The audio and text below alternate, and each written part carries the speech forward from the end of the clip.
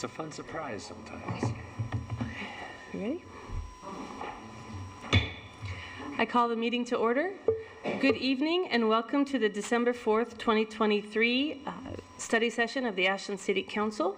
We will start this evening with public input, and I have speaker request forms. I have six of them, I believe. Two, three. Yes. Yes. So we will give each person um, two and a half minutes during the 15-minute time frame, and we will start with Tam Masden and Anna Marie LeBeau. I hope I said that correctly. So are, are they here? Yeah. Okay, so, so what you'll do is you'll come up to the two microphones, and please give us your name and the city in which you reside. Dana will help us with the chimes. When you have uh, 20 seconds left of your two minutes and 30 seconds, she'll give you a single chime, and when the time is up, she'll give you a double chime. Okay, go ahead. Cool. Um, my name is Tam Masden. I live here in Ashland. Uh, you know, I don't fully know the intention of this meeting or tomorrow, all the logistics. I just know that there's a lot on my heart right now, and that is my intention to share in my time. I lived in Ashland for seven years and went to Arizona. I've just recently returned. And upon returning, I heard a lot about the challenges increasing on the streets for our friends who are hungry or who need to feel at peace at night while, while they rest. I feel um, extremely passionate about humanity and us caring for one another.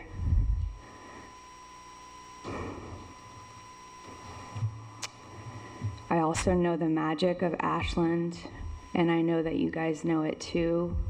And I know that we are called here for a specific reason, and for the most part, we all want healing and we all want to get along with each other. And I, I believe in Ashland. I believe in you guys. I believe in what's possible. I believe of the changes that can occur, just tiny changes too, to really shift and feel more like a win win win across the board for everybody. So I just want to invite you guys to stay connected to your heart and to humanity and to basic kindness. I'm not saying that you aren't already there. I'm just saying that it's winter and it's cold outside, and brothers and sisters having trouble sleeping and resting can shift quickly, and we can do something about that. I know that Ashland has done some changes since I've returned, and I'm grateful, and I'm excited for even more. And I will be back tomorrow night to use my voice. Thank you. Thank you. Anna Marie LeBeau? She's not here right now. Uh, she's I can put her to the bottom of the pile and see if she's back by the time that, uh, that we get there. Let's go to Joseph Wise and then uh, Karen. Hey, you're up. You just go and you can sit right here and you talk in the microphone. So Joseph, you'll have two and a half minutes, and Dana will give you a single chime when you have about 20 seconds left, and a double chime when your time is done. Okay. Thank you. Well, where do I start? I came from Maui about three months ago after the big fire that destroyed uh, Bear Party Island. I remember I used to, I did a movie here many years ago, and I remember the place was nice, and that's all I was looking for when I came here was just a nice place. And it's got the greatest people I've ever met, kind, generous, and helpful. But uh, the uh, bureaucracy in the, the police station and, and whatnot just seems to have a somewhere in its uh, command structure just somebody with just the meanest attitude I've ever seen. I mean, uh, just today, I, I asked officers, when they picture what they, their personal picture of themselves, do they see somebody being cruel to cripples and war vets and the elderly for little or no reason? I mean, the only reason they give me is that they got a memo or a picture from some person who has a nice soft cushy place to sleep. And I wonder if their bulletproof vest does not stop for pictures and memos. The reasons they give us are just uh, from uh, the command structure above. You got to get out in the freezing cold and risk frostbite and lots of pain because I got a memo this morning that some person looked out their window or some person drove by and didn't like where they put us. And we have no place else to go because they've taken away every, every place. They tell us we've got to come here. And I mean, it's the, the police force, they don't seem to communicate with each other. One officer will tell us one thing, next thing, another officer will come out and get everybody tickets for following those instructions. Officers will talk to us uh, another day, and the officers the next day say those officers never existed. There's no consistency, there's no communication between the ranks. I mean, uh, this, this morning, due to an unfortunate attack brought on by them not paying attention, I was, uh, I guess you'd say I was in bad psychological stress this morning. And I asked for the uh, legally mandated bit of a, I guess you'd call it the mercy. Because I know if they're not allowed to force things if it causes mental or physical harm and health and all that. And they said, well, we're just following orders. Which uh, seems like a fine excuse, except for you realize that's what the Nazis used in Nuremberg.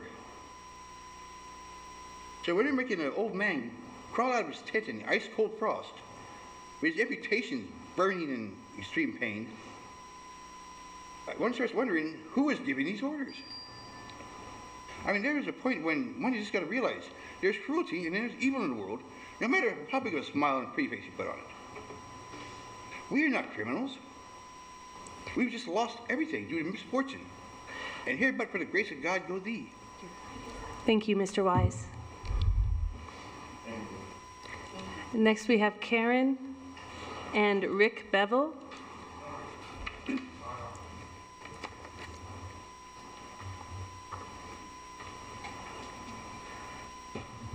Hi, I'm Karen. Um, I'm homeless out here too. Karen, And- if you can get in a little closer to that mic so we can hear you. Every day we have to get up early in the morning and move. We're not allowed to put our tents up anymore, and we're freezing. There are people that are going to die out here if something isn't done. And I have a suggestion. Put a fence up right there. It's a security fence. Well, not a security fence, but a privacy fence. Out of sight, out of mind. Then we're safe, and so are you. And so are the people around us. We're not out to hurt anybody. We're out there just to survive and try and get back on our feet. And some of us may never. But there are some of us who are trying really, really hard. I have a 14 year old daughter who's relying on me, but I can't charge my phone. So it's completely dead. I can't even call the courts. I can't talk to her. I'm stuck until I can find a way to fix this. Do you know how hard it is when you're on foot and you're blind? And yes, I am going blind. I am blind in my left eye, and I am going blind in my right. And I have no out. You say, go to the shelters, go to the urban campground. The urban campground, you know what that does?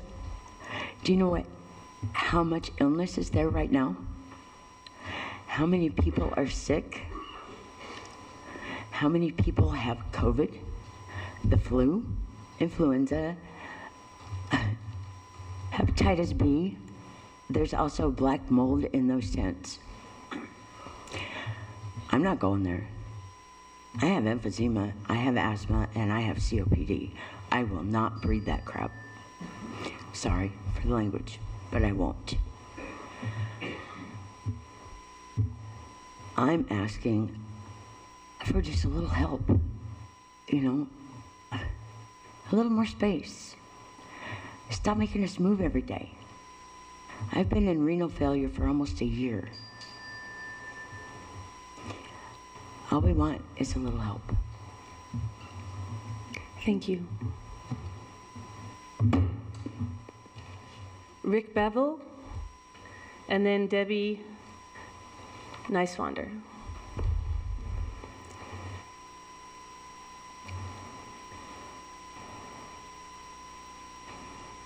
Okay. Anyone? Either Uh, one is fine. Y'all know me. I mean, I've been on these streets eight years now, and I'm still the way I am. And I push myself harder than you'll ever see any person like me. But I get in trouble for it. I get tickets for it. Rushing me, but they don't care. I mean, it troubles my heart because when I first came here, every cop I met, I showed respect. I waved at them all. They waved back at me. Some of them said, aren't you going to wave at me? Oh, I'm sorry, I can see it. I felt more love in this town than I've ever felt in my entire life. I was raised over the mountains in Klamath Falls. But here, things have changed, and it's not good. Think you, all you want us to do is die, then you don't have to worry about us. But there's other people behind us, and they're worse. Because this world ain't getting no better. Rick, can you get in a little closer oh. to the microphone? I want to make sure we can hear you properly. Excuse me. I'm shy, I guess. No, this town has made me change. change. 'Cause when I came here, people I met, more love than I've ever known in my life. And ain't even my real family, because I don't have any more. But the people I know out here, like I said, you all know me. You've seen me move, you've seen me walk. In a wheelchair, on a bicycle, crippled and walking. More pain than you probably ever felt in your entire life. And I'm getting pushed harder to move faster. If I don't, I get ticketed. That's money I don't, can't afford to spend. And picking them tents up every day, that's cruel. That is cruelty to humanity. Because you're treating us like your underlings. We don't deserve anything. But we do deserve, something that everybody does love and respect. I got it all. I can't take this crap anymore. Because at times I'd much rather be dead. Because then you don't have to worry about me, and I don't have to worry about the ridicule and, and what happens to me. You know, the tickets and all that. My past is my past, but my future's been bright ever since I've been here.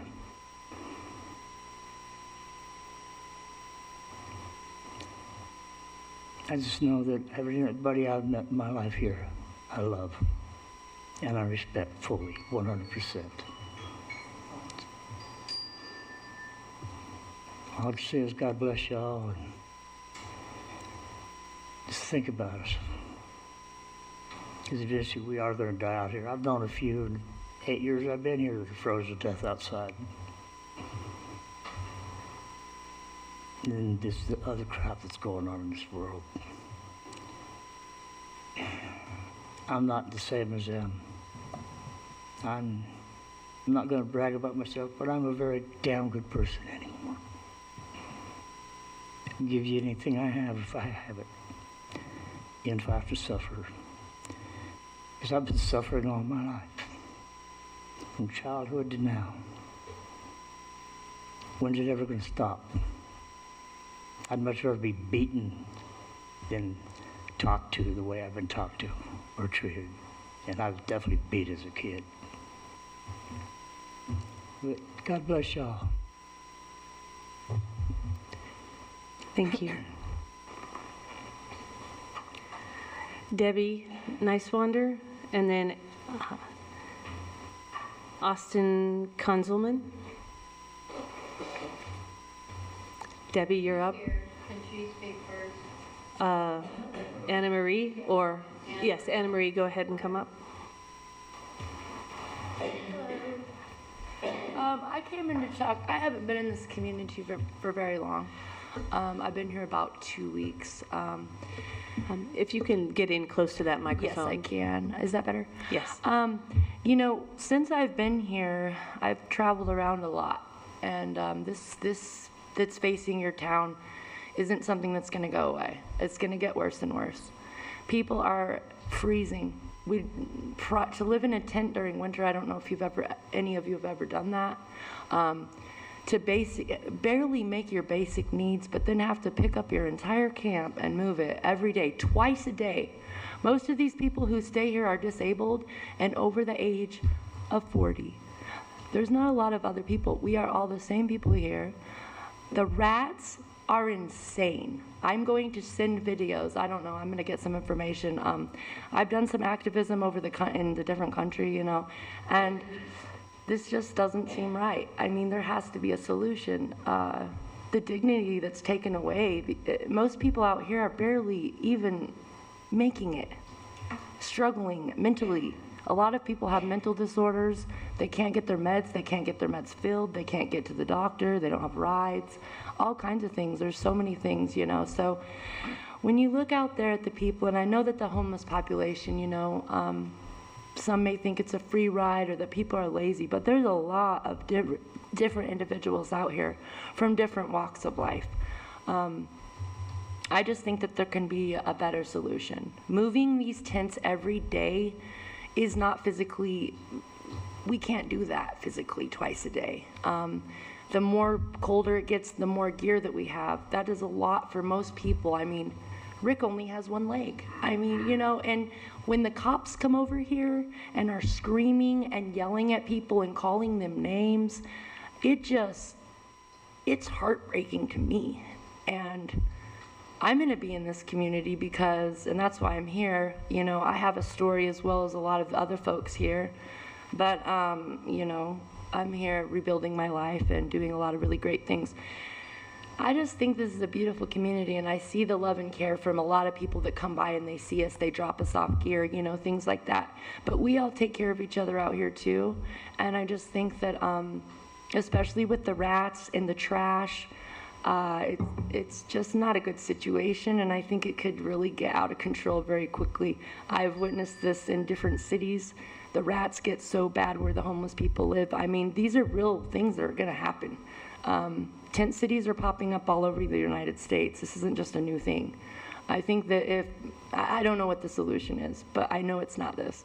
And I think that people would be very much more agreeable and willing to work with any of you um, if, if there was just a little bit of leadway, you know, a little bit more room for people to, to, you know, to just live their normal days. I mean, we're not a bunch of kids down here. This isn't fun for anyone. It, it's really terrible and it's very sad. You know, we walk each other through each day and help each other. Um, a lot of us only have people here. This is our community of friends that we and that we love and that we take care of. You know, so I don't know. Just maybe we can think of something that's way more positive and that could have a better outcome there's no housing here. Um, so that's kind of a step, you know, if, if we take this situation and we turn it into something where there are steps for people, I think that would really help people to have maybe some more hope. But thank, you Thank very you. much. Thank you. Debbie Nicewander and Austin Konzelman.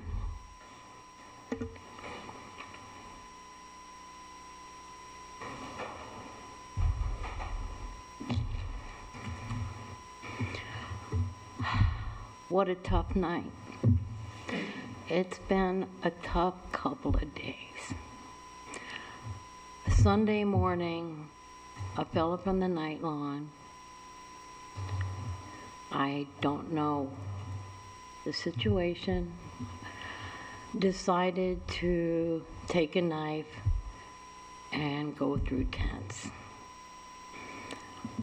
Four different tents, four different folks were assaulted and their tents slashed to pieces. One individual in his tent got thrown about in his tent. He came out and was able to chase this fellow away. Yesterday was Sunday, no bus service. We know this person is still in town. We know either he's off his meds on drugs. He's in crisis. We know that. So yesterday was a total state of fear. All their gear, it rained that night. Everybody is drenched in their gear. Their tents are destroyed. And this person is still out there. Well, come to find out, he ended up trying to break into a hotel last night and apparently was shot at by the owner and ended up in jail. He was released around 11:30. The police, when we filed a report, or when we thought we filed a report, we called them, they came out, interviewed. Apparently, they didn't take a official report. But, um, so, and they didn't know who the fellow was. We ended up having two individuals with the same name on the lawn. They were thinking it was a different individual. Well, this fella showed up this afternoon. As I was leaving the night lawn, I've been taking people down to Getting Gear to replace tents and gear. He shows back up. I had to call 911 and I had to drive my car in between the two groups to hold the peace until the police came. This individual was contacted with the police. There were no charges filed because the police think there's no report being filed, but he did end up taken away in an ambulance and self-committed himself. So now he's in on a mental health hold. What happens after that? We have no say of who's on that night lawn. We should have a say in who's excluded and who's on. Before, back in the day, before the police got involved, Ms. Niswander? we took care of up. things ourselves, and we need to be able to be a part of the process on the lawn. So I just want to fill you in. This is state-created danger. You made the night lawn. You took on the liability. You need to really think about next steps Thank you. and consequences. Thank you, Ms. Niswander. Have a good night and sleep well. Austin Conzelman?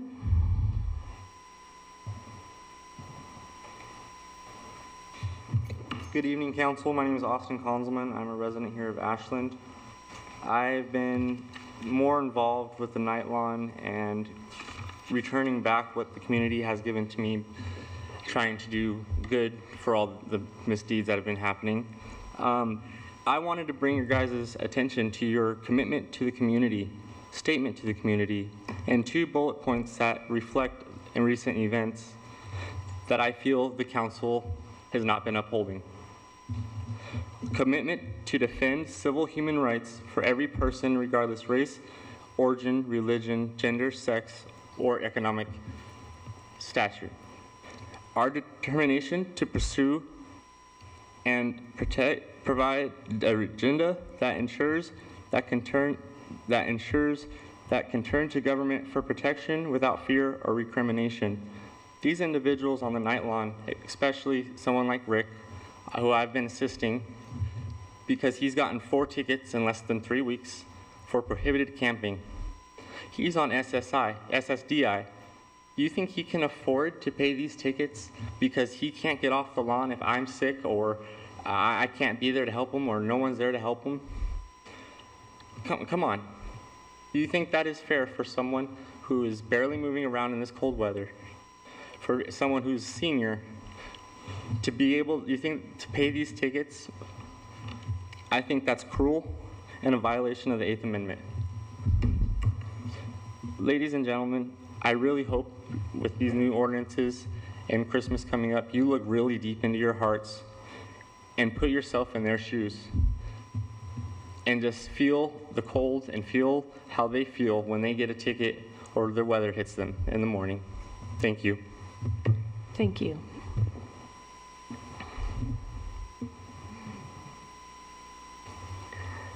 Okay, the next uh, agenda item is the water utility rates overview.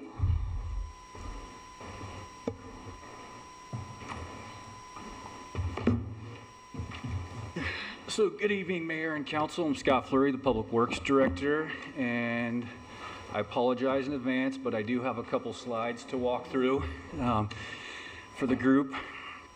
And for everyone watching, let's see if we can get this started.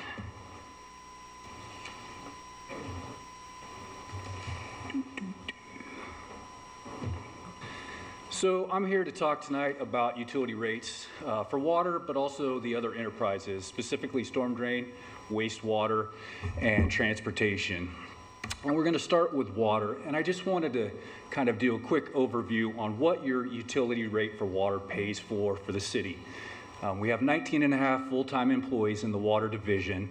We have hundreds of miles of underground pipe. We have our storage systems. We have Reeder Reservoir, Hosler Dam, and we're regulated by the Oregon Health Authority and the Federal Energy Regulatory Commission for the Hosler Dam project. So this covers your maintenance and operations, your utility rates cover your maintenance operations, the personnel cost, and then also your capital costs for that system itself. Now, um, we just recently had Hansford Economic um, do a water rate projection for us for a six-year period. Uh, this accounts for the existing budget uh, that we have for the current biennium and also our capital costs, uh, including the water treatment plant. And what she's projecting is 10% rate increases uh, for the planning period in that six year window to generate the revenue requirement necessary um, to maintain your infrastructure, pay your people costs, and satisfy the requirements for the capital infrastructure program that the council previously adopted. Um, as you see from the graph, this is what a single family residential utility bill would look like using a thousand cubic feet of water monthly. So this is kind of our standard metric that we apply when looking at averages for the water utility. About 46% of the revenue requirement is recovered in your base charge, so your customer charge and your meter charge. The other 53% is covered in the commodity charge capture, so the tiers one, two, three, four, and 5 um, that are laid out in the water rate structure itself. So this is, I will say this, this is a snapshot in time um, with looking at projected increases in the future bienniums to develop what that rate increase, but also looking at the exact theoretical expenditures for this current biennium to meet that revenue requirement to meet the policy requirements in the fund and to make sure that we have enough uh, cash to meet our debt service requirements that we have in place and capturing enough revenue to make sure that we have enough to pay the debt service for projected capital projects in the future. The uh, cost or the water rate study um, technical memo that's in your packet details uh, what projects the city should use cash on out of our existing ending fund balance reserves and what we should uh, continue to look for debt for. Um, and primarily, when we're talking about debt for the water utility, we're talking about the water treatment plant project. That's the biggest driver of the rates moving forward for the next few years. Uh, Hansford recommends using a bunch of the cash on hand to cover our uh, some of our water line projects, pump station projects, and some of our smaller projects that we have in the capital improvement program. So just an update on the water treatment plant project. Uh, we're currently at 90% design. HDR uh, plans to finish up by the end of this year. And we're setting kind of a winter spring bid schedule. So February, March, would, we would bid the project uh, with the expectation to start construction in summer of 24. And you're looking at about a 30 month window for complete construction and about another six months of startup for the plant project itself. Uh, finance staff, myself, uh, the city's financial advisor, PFM, and bond counsel are coordinating right now with the EPA, Environmental Protection Agency, on funding the project through their Water Infrastructure Financing and Innovation Act, as we've spoken about previously. Um, some of the things that have changed since we first started going down this road for WIFIA funding is uh, we were able to uh, match in kind to allow WIFIA and the EPA to fund the complete project. Um, that's because we have cost match uh, we provided for the engineering work done today, but also the land value that we're using that's a city-owned parcel. So previously we had talked about WIFIA would loan us 80% of the project total, and we'd have to find an alternate source for the other 20%. Well, now that we have enough in-kind match, we meet the 20% requirement. So um, with that being said, WIFIA will loan us a maximum award based on our in-kind of $75 million. Now, when we brought this forward to council a couple years ago, based on that 80-20 funding package, you know, we estimated the construction and that 80% at about $40 million. The city council authorized a borrowing resolution at that amount. Now, in order to close the loan and meet the financial obligations, uh, the request will be to update that authorization re- resolution for borrowing um, and in speaking with the financial advisors and finance staff and bond counsel, their recommendation is to set it at the maximum amount that the EPA will loan you for this project so we don't have to do these process steps again um, as part of that. And just a reminder that when you get these loans in place, you only spend what you need to satisfy the project. So you're not obligated for that full amount. You only reimburse what you spend towards the construction and construction administration phase.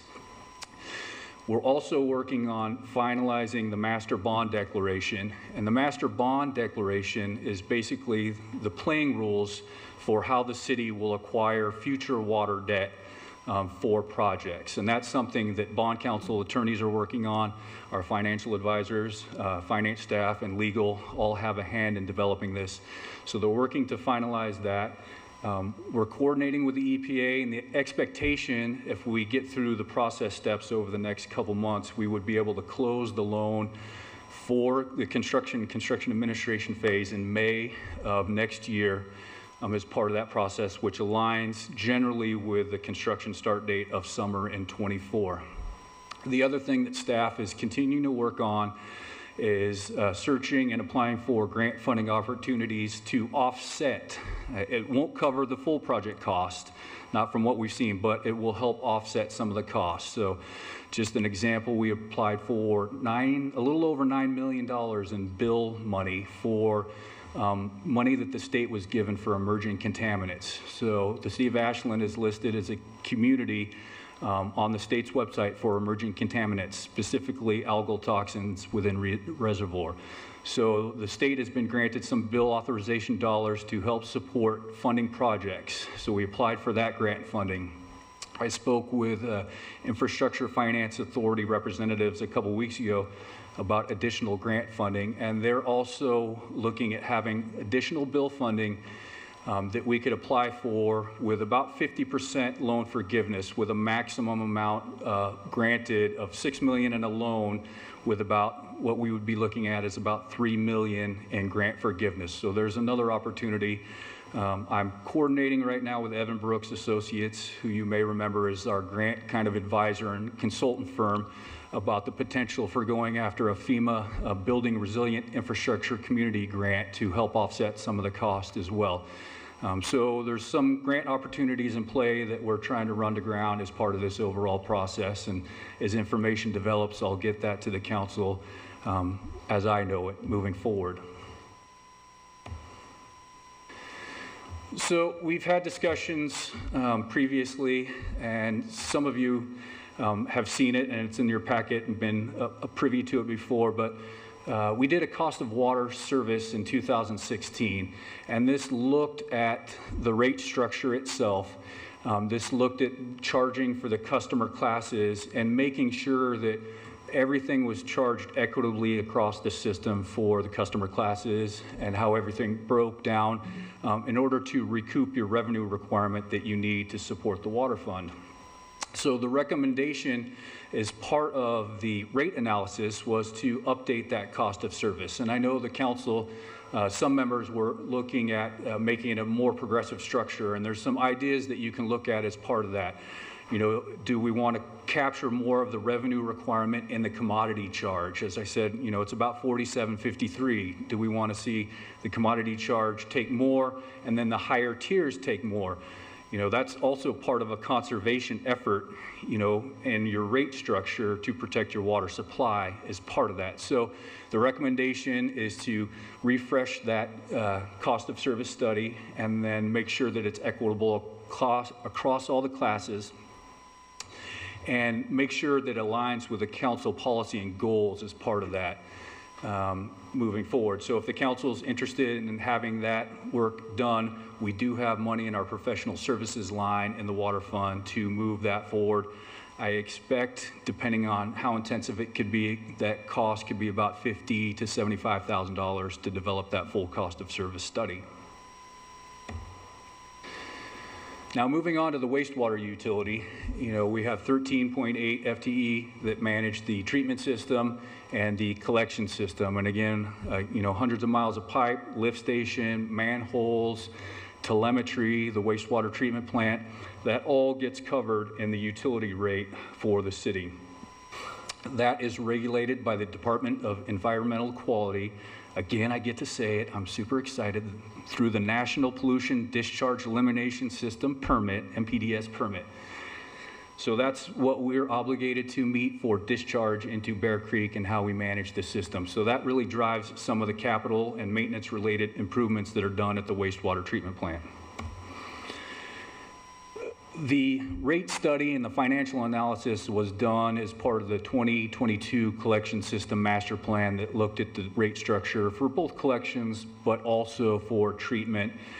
And for fiscal year '25, the recommendation is to have a 6% increase. Um, You know, and as a reminder, uh, there hasn't been a rate increase in any of the enterprise funds except for storm drain in in '21 since 2019.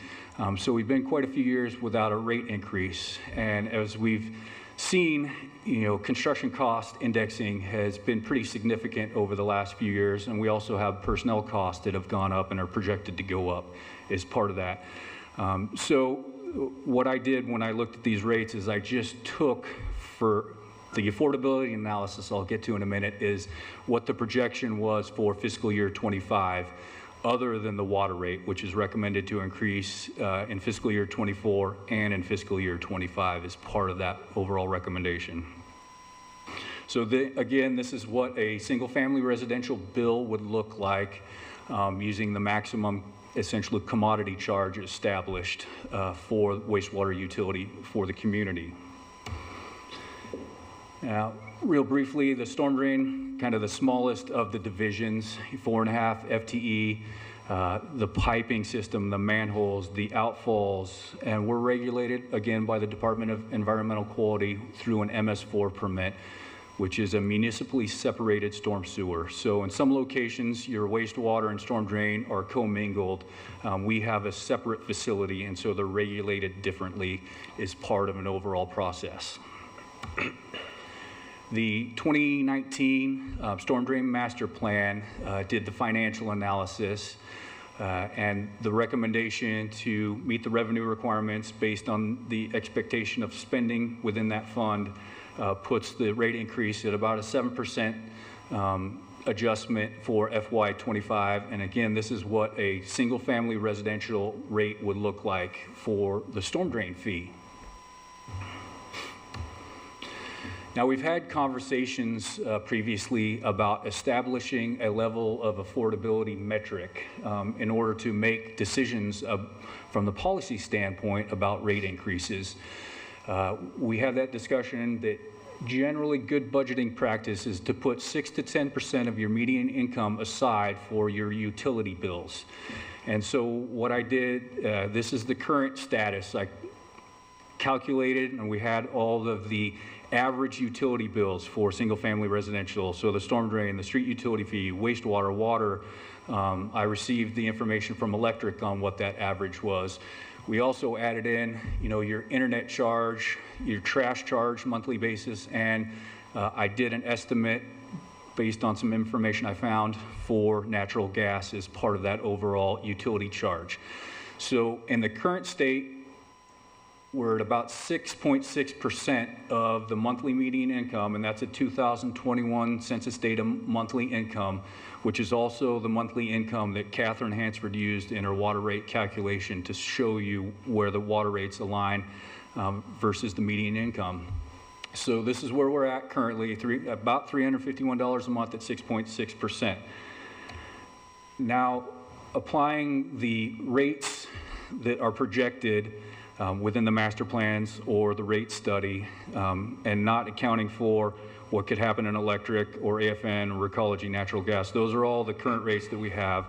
These are the 2023-24 projected rate increases.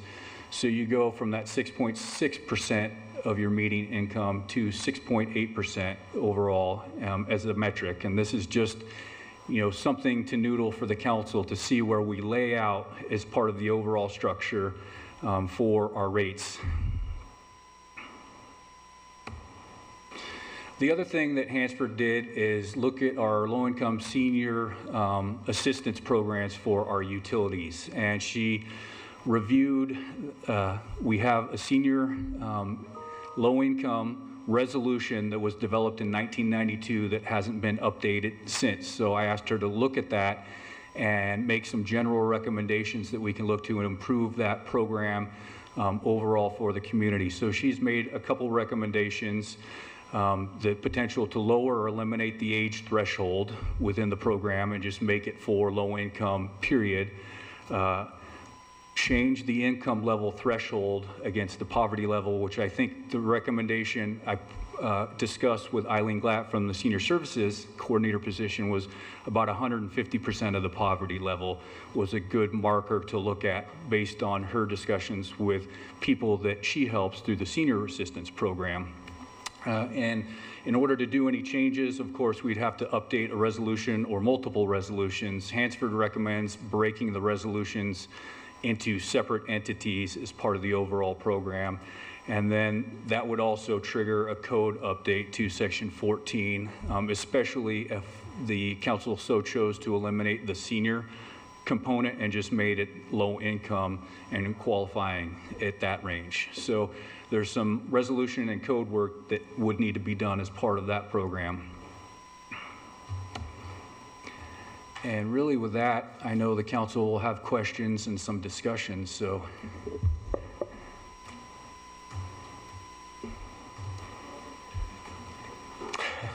Yeah, I have lots of questions. Councilor Kaplan, let's have you start with your first question. My first question, so I got to pick one of my questions. Yes.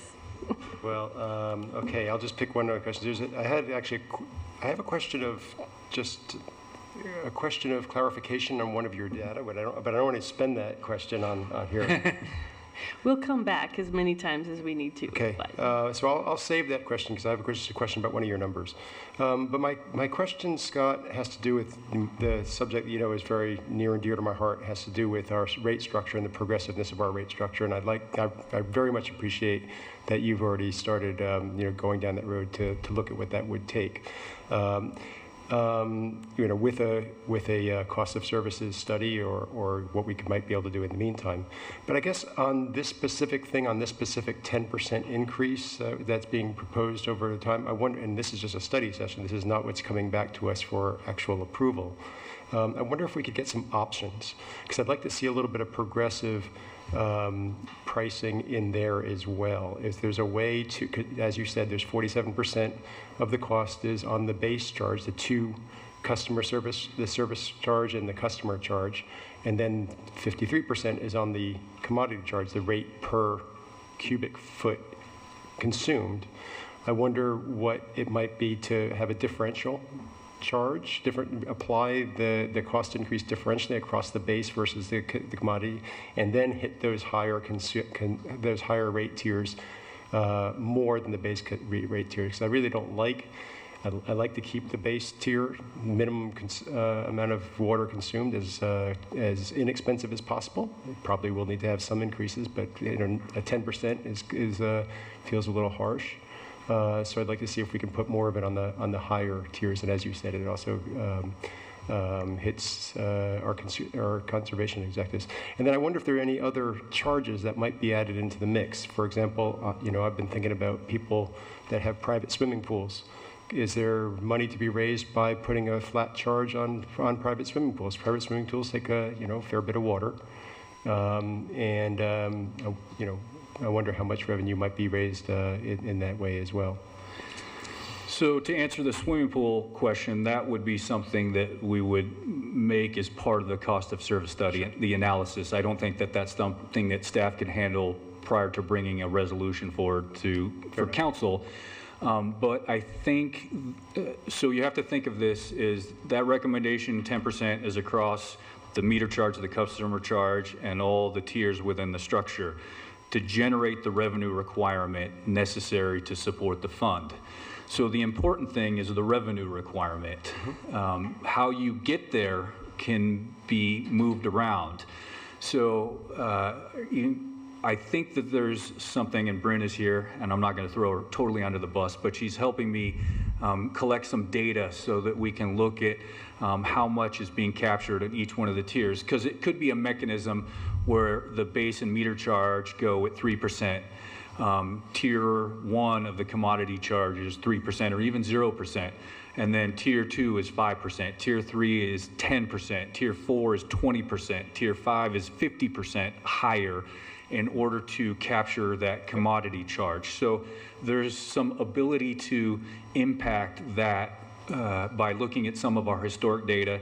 And I think we can do that on the staff level before doing a full cost of service study that would formalize that and look at multiple years worth of data and go, okay, moving forward, you know, in order to meet these projected revenue requirements in this analysis and based on the usage in the category in the tiers, this is where your rates will be applied moving forward. And that's what you want to, is you want to create that defensible rate structure uh, for the council and the community as part of that overall process. Great. So I understand that you can look at that before we come back, so we can have some, a couple of options on the table perhaps. Yeah, I have a spreadsheet that's like a mile long right now that Bryn sent me to start to put some of that together so we can try to capture that and look at the 2022 data as that baseline, um, which we have all the final numbers for. So, Great. yeah. Thanks, thanks, Scott. That's my first question. Councilor Bloom? Thank you, Mayor. I uh, joked with my wife when I was preparing for this that uh, I don't need to do too much because I'm sure Councilor Kaplan has most of the questions that I would ask anyways in there. Um, I understand that, that, you know, part of these rate increases is, is about being able to fund the new water treatment plant. Has any work been done to see, let's say we remove the water treatment plant completely, what would the rate increases need to be to keep up with cost of services?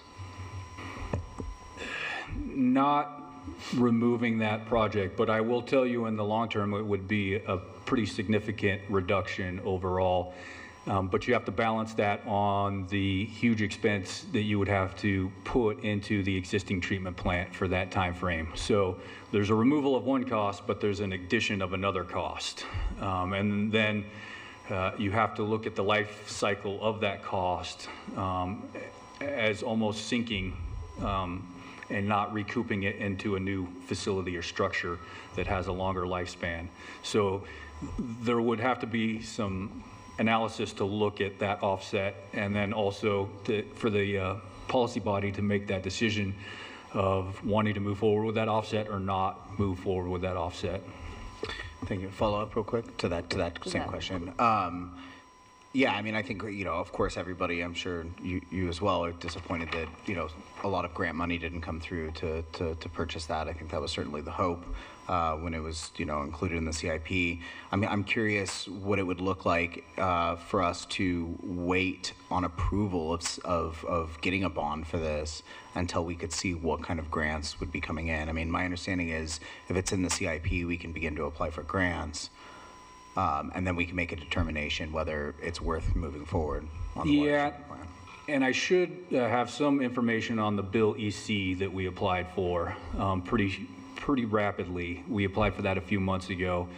Um, And we would know most likely in spring, summer for the additional um, IFA funding, bill money, that's $6 million with $3 million of forgiveness as part of that. We would know that. Uh, Any sort of FEMA BRIC process was probably a year out before you would know that um, as part of that grant funding opportunity. Uh, So there's some time gap in there, um, but not a significant amount. Um, And just a reminder too, that the EPA funding for the program is about the best you can get as far as term. Because it allows you to have a 35-year term, and you're not going to see that through other funding mechanisms. Um, Part of the impact that you see in the rate increases, which will change, I'm hoping for the better, is that the interest rates are driving a significant increase to what was previously projected using that funding source. Uh, And we've seen interest rates uh, and the basis points start to trend down over the last few weeks. So if that continues in the positive direction, that will also impact that rate increase um, moving forward, especially in the future years as far as a projection. Um, The other thing that I briefly mentioned at the last meeting is we have a dam safety improvement project um, that's in the CIP for almost six and a half million dollars. Well, um, there's been some new information come to light through our comprehensive assessment process that m- might relegate that project to not being needed to be delivered. Um, But I can't make that decision. That's a city council decision that you will have to make on your level of risk that you want to apply to the preservation of the dam project. I'm hoping to have that CA report wrapped up by the end of the month. We're going to have an interim meeting with the Federal Energy Regulatory Commission in February to go over all of the components of that comprehensive assessment um, because it's a regulatory requirement by FERC that we do that project. But now that project falls into the acceptable risk category um, for their comprehensive assessment program. Doesn't mean that they're going to let us out of it potentially, but we do have some leverage and some discussion that we'll need to have as part of what we want to produce moving forward for the dam um, and us raising that left and right abutment um, as part of an overall. So there could be some cost savings there as part of that project, which would then also adjust your rates moving forward. Um, So I- when I say this is a snapshot at time, you know, these rate analysis and this has to be updated every biennium um, because you're going to use your true expense and revenue for that biennium and then what you project that you're going to spend in the following biennium um, as part of your budget process. So these are always living things. Um, We're just grabbing them at one shot in time. And if we collect more revenue than we expected, then that's a rate adjustment. If we don't collect enough, that's a rate adjustment. Councilor Hyatt. Thank you, Mayor. Uh, Scott, thank you. Um, I wouldn't want Bryn to come out tonight and not have a chance to hang out with us. So I have a couple questions that probably are best directed to Bryn. Um, but my, my first question, I'll give you a chance to get there, my friend. In reviewing the appendix that went through the statewide plans and how they're administered, whether they're 185% of the state median income, or, I'm sorry, 60% of the state median income, or 185% of um, federal uh, guidelines. And then looking at those and then looking at Corvallis. And Corvallis looks at it more from the perspective of, is the applicant um, leveraging things like SNAP, free lunch program, OHP, TANF, ERDC, um, employment-related daycare. Um, and I'm curious, from a utility billing perspective, if using a system similar to Corvallis would be both effic- uh, efficient and effective for our staff, and also rather than putting so many if you're this age, then you get that, but you only get it for three months, and it's capped at this. If it simplifies things across the board for helping folks and for administering the program. Right now, if a individual or a household has SNAP benefits, they automatically qualify. Hmm. Okay. Yes. So that's probably a case where, in the resolution, since the resolution's 30-plus years old, we didn't see that or know about that element. The reasoning is because um, we trust that they have gone through that approval process and. our- Absolutely. And our, the, the income requirements. Ours falls within what theirs is. So that's how we've teamed up with that to where when folks do submit that, we automatically qualify. But yes, that makes it uh, a much smoother, quicker process as far as reviewing applications when we do receive that paperwork. So would it be safe to draw the conclusion that when this body works to act on the recommendation provided in here for assistance programs, that we should look to codify, when we repeal one resolution, replace with something that's more in the current decade, um, do it in a way where we're codifying, if you're on SNAP, you're automatically, and perhaps consider some of these other programs like OHP, ERDC, TANF, and the like, for the same reasons? Exactly, exactly, Okay, yes. okay. So that's not an outrageous request? Not an outrageous request, no. One quick follow-up? Sure. So given that we would no longer be going by our metric of age and percentage, and by going in that direction, do we perceive that we would be opening up the qualifications in a way that we may not currently be budgeted to support? Yes. Thank you. Yeah. So if you do pursue that path, um, the age, like, like Scott was mentioning, that Hansford uh, recommended removing the age. Um, And unfortunately, right now, we have no way of knowing the What full- would come in. The full impact. Right. Okay. Thank you, Bryn. Sure, you're Thank you, Scott.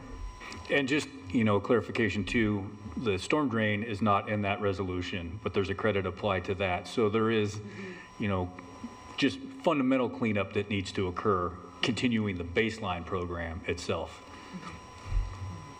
So, Scott, I have a question. The, the six years that's plotted out in our, in our materials here, um, what do we think happens after that six year? Um, Is there, I, I realize that the, the crystal ball gets much fuzzier Fuzzier. at that point, but we also realize that we're paying over um, multiple decade time scale for the, the new water treatment facility. What, what might we expect? Are, we- are we doing this, this sharper climb so we can level out on some level? Uh, That's part of it. So in the study too, we looked at, um, there, she's looking at your existing debt load and paying off. So in the next few years, there's a few hundred thousand dollars in existing debt that get paid off. In the 2030s, there's some more debt that gets paid off. So you'll have existing debt, um, but you're also going to lose some of that debt load that you have for the utility itself, which will offset your cost overall. Um, It just depends on where you are um, with your capital and infrastructure needs. Um, One of the things that she's always uh, recommends, and you see this, is to make sure that you carry a fairly high cash balance for your utility, especially while you have some of these high-profile capital projects going on. So once they're completed, um, there'll be kind of, I expect the recommendation is that you won't have to carry such a high capital um, balance for the utility as well. So these rate projections ensure that you have enough cash moving forward for the next six years.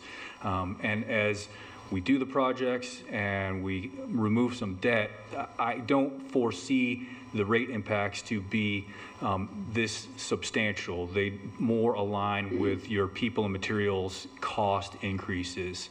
Um, Because a majority of your capital infrastructure then just falls down to replacing some of the underground pipeline um, within the system. As you bought the big expense already that's going to be managed for the next 100, 150 years.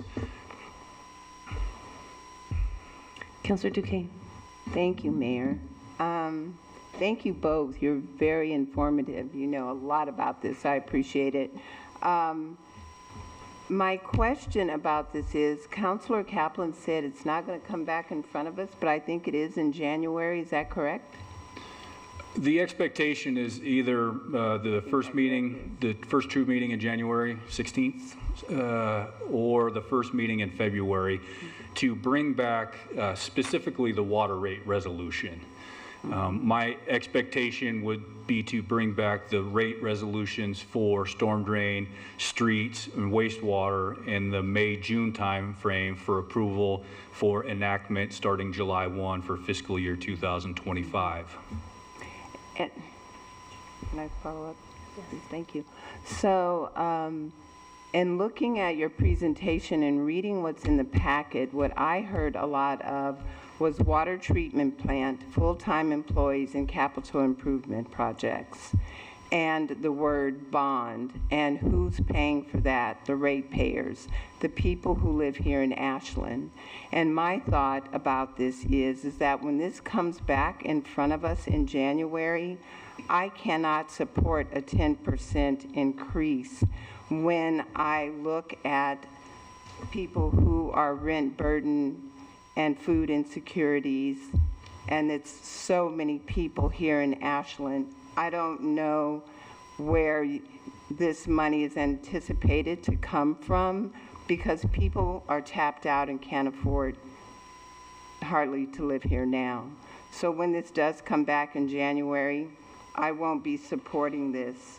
Um, I believe if anything is over 2% in rates, it should go to the residents of Ashland and let them vote on it and see if they can afford it. Councillor Hansen? Thanks, Mayor.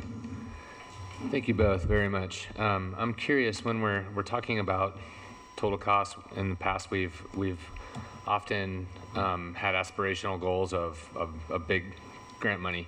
Um, do you have an update on any kind of upcoming grants? Because when I when I look at these big numbers, I'm wondering if there's infrastructure money that'll help bring it down. For instance, the the solar construction cost might be offset by the 30% federal ITC that's coming as a cash grant. For there- municipalities? For, for Yeah. municipalities. I'm Yeah. curious, are there any other big whales out there that, that we're going after? You know, the, ne- the next biggest one would be the FEMA BRIC grant, um, which I don't know the exact specifics, but they have a pretty big pool of funding for that program itself, um, which we would go after. Um, we've talked about the ODO grant for the photovoltaic system um, and other grant opportunities for the battery backup system potentially um, is part of that structure to reduce the cost of those systems.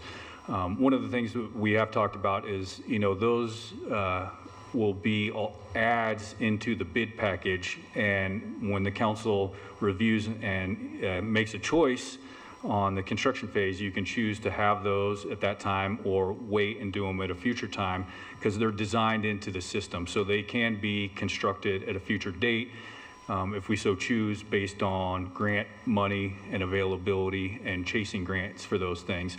Um, so that's why I say there's kind of a, a short game and a long game in searching for grants because, you know, uh, a, a lot of people I've spoken to, you know, will have money available potentially in the future um, that could offset your costs since we're going to be in a three-year construction window. Uh, so that BIL EC money I referenced, the $10 million for the pretreatment and ozone system, um, we might not get it this go around, but it's four more years of availability for that um, as part of it, and they will let us go after that to offset that cost. Uh, The one thing that I want to be clear with as part of the rate structure is when we go after um, the IFA money specifically, that $6 million, or even the BIL EC money, and to have that grant forgiveness, that principal forgiveness in the package, uh, you have to have your rate at a certain level, which is 1.25% of the median income. So right now, we're under that. If you, so in order to be eligible for that funding, you have to be at that 1.25% or higher to get that grant forgiveness package as part of any other future loan documents. Okay, and that, that's not part of this prospectus that we have in here right now, because we have a more padding in here with our, ten- with our 10%. With the 10%, considered- that's correct. And, and I guess if, one more, Uh, yeah, it, I'm wondering like when, when the, when the calendar timeline, um, when the clock runs out, um, in terms of pulling the lever on, on which à la carte items and/or like really looking at what this package is going to be, and to Councilor DuQuesne's point, you know, in terms of voting on it, um, when do you anticipate that you- you'd have a better idea of monies that we'd be able to bring in with the rate structure and Councilor Kaplan's request that it sounds like can- can be done in-house? Do you think we're going to be able to look at a more, this is great, but I'm wondering as we get closer to spring, summer, if we'll have another bite at the apple here to like really kind of sharpen our pencils and see if we can get that number from 10% down to something else to meet all these requirements. So there's going to be a couple takes at that. You know, we'll know about some of the funding moving forward um, that we've already applied for or will apply for. The LOI for the $6 million is due in January, and it usually takes them a couple months to rank and prioritize that. So hopefully we would know that. We would know the BIL EC already by then. And then you're going to know the big one, which is the actual construction cost of the project. If we put it out to bid, you know, we expect to have April, May, that bid back um, and review of that bid and bring it forward to council. That cost, as you saw in your uh, packet, you know, has a high and low opinion of 70 million to a low of 55 million. Um, right now, the rates are based on the $70 million cost um, to be more conservative. So if it comes in under and we get more grant funding and we have capital project expenditures, you know, that future rate projection will uh, be reduced. And then there's the concept of do you want that amortized uh, as a steady rate increase or do you want those are policy decisions too. Do we want a higher one, a lower one, a higher one, a lower one? Because you can blend the rate structure and your uh, use of cash over that kind of six-year window to accommodate that. Uh, the other thing that we're going to know more about is the rate stabilization fund as part of the water treatment plant project. So we have a pretty significant ending fund balance, and one of the things we've talked about is taking some of that ending fund balance and putting it in a dedicated line and holding it uh, for what they call a rate stabilization fund. So um, as you do your rate projections, you know that this cash is available and specifically tied to this project. And that's part of that master bond declaration and the funding with the WIFIA program that gets all tied into those documents. Um, so that's one of the things that finance staff, the financial advisors, and bond counsel attorneys are discussing right now about that mechanism because they have the rate forecast. So they're also using that information with the existing to kind of develop that full financial plan that gets wrapped up as part of that whole document process. Wow. Okay. Thanks. And in addition to this, the the federal rates might go down. There's all these other things that are happening. Yeah, if we see the interest rates, you know, we were originally projecting at about three and a half percent. Uh, well, the latest iteration, I think they're at 4.7 percent. So on $70 million over 35 years, that's a pretty significant increase um, in interest payments. Thank you. Councillor Kaplan? Um, yeah, well, actually, uh, my other, my, some other questions were answered in this go-round, but I would like to just to follow up on Councillor Hyatt's line on the, uh, um, the, the subsidies. Um, that's, I'm just trying to get a sense of the time frame. If we're talking about water, I'm, ALEAP also applies to electricity and the others, and I, I'd, look at these things as know, a whole package. Uh, and I'd like the same simplification of just looking at these federal programs, state and federal programs, uh, and then also just spreading it throughout the year. I've always I've, I felt that it made some sense to apply the elite program to the winter when there was winter, you know, heating costs. These days, the costs are, are going throughout the year a little bit more. So even perhaps a slightly s- smaller monthly um, subsidy, discount, but spread throughout the year might be a, a, a more appropriate thing. So are we going to, are you going to be able to bring that back to us, um, perhaps in the time frame of this next uh, uh, several months? And so, we, so it's in the rate stud, rate program for May when we look at the rates next. Is that when we look at rates for the for the next fiscal year? So we have not done any analysis on the LEAP No. side.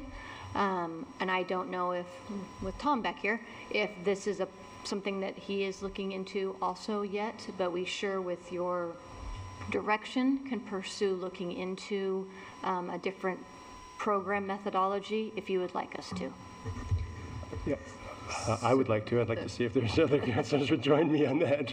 Just to follow up to that, I think the timing would be, we could definitely start that analysis now, but without a kind of budget supplemental, this would be something we'd look to incorporate in our next budget cycle, because as Bryn mentioned, it could have a significant impact on how much um, relief we're offering, which is going to need significant dollars to address. So if I understand what you're saying, we could do the analysis now and understand what the impact would be, and then we decide in the, in, for the next uh, fiscal year whether that's something that's budgeted within our budget or not.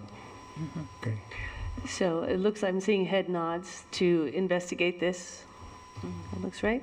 Great. And I also just wanted to follow back up from Councillor Kaplan's earlier com- um, request around the progressive rate structure. That will be more than two hours, in spite of your giant spreadsheet you already have going. Uh, Is there general agreement that this council would like to look at, at that- those progressive rates?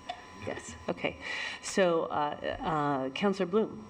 Thank you, Mayor. Uh, I'll be quick because we kind of just went through, and th- those are two big issues for me. And, and I mean, I'll just say right now that I'm not comfortable voting on increasing rates in January before we do any of these, looking at the rate structure, looking at these programs, um, because things change.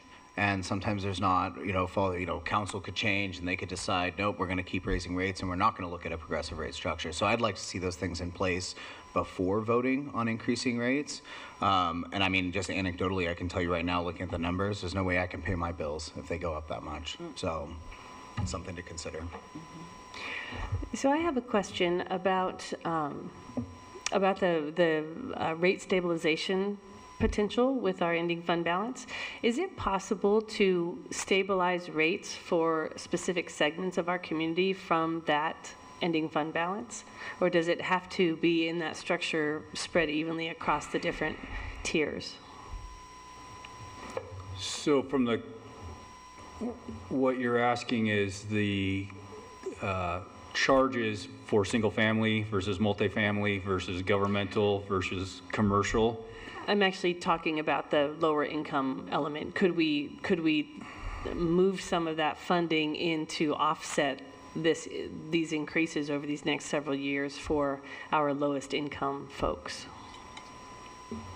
By adjusting the program you are itself is how I view it. So allowing broader access and changing the income threshold, you are providing that. The key, I think, too, in that point is the cost of service and looking at, okay, if we want to keep the customer in meter charge and tier one as low as possible and recoup more. So that's that next phase. So to provide um, more equity to um, the uh, the residential base or the customer base and that and charge more on the higher level of the commodity charge. So um, increasing access to the program and then recouping more of your revenue, and this is how I think about it, um, in the commodity charge um, protects that lower end ratepayer by minimizing that rate overall.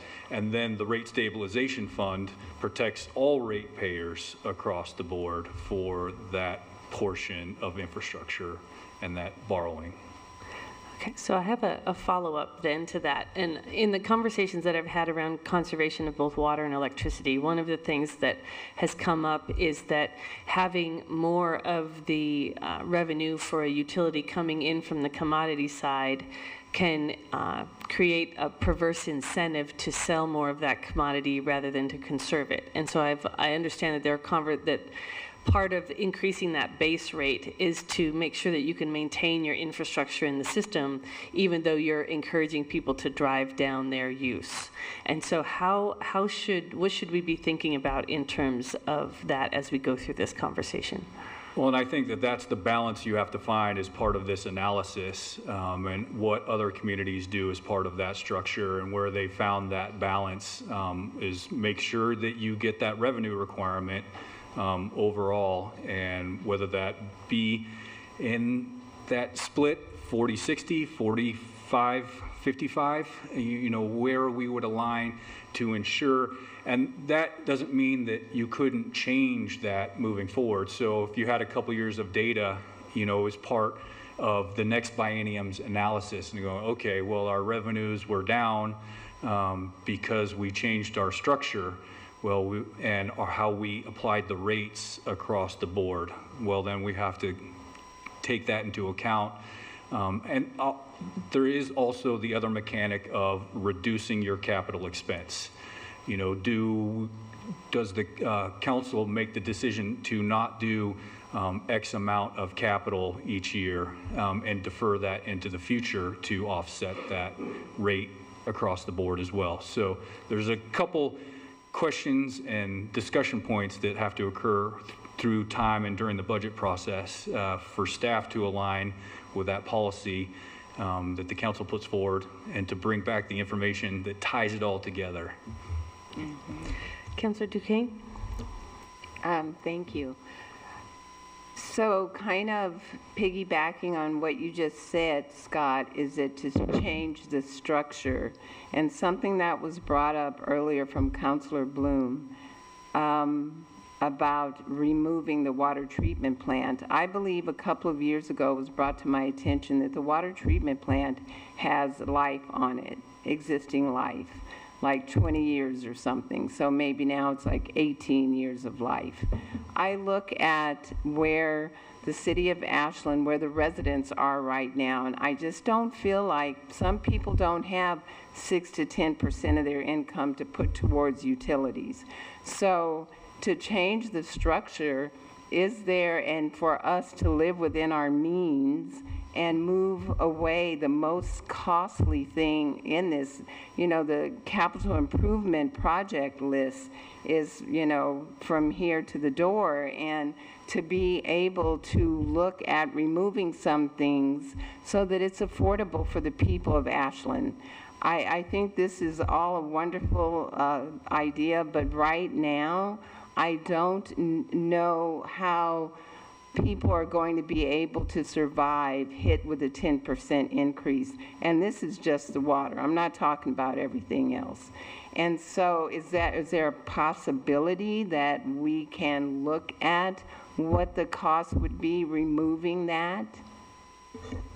Uh, There's some historic information that I provided council uh, last year or the year before on what the cost would be to maintain uh, the existing infrastructure for the 20-year, 25-year window versus the cost of construction of the new plant.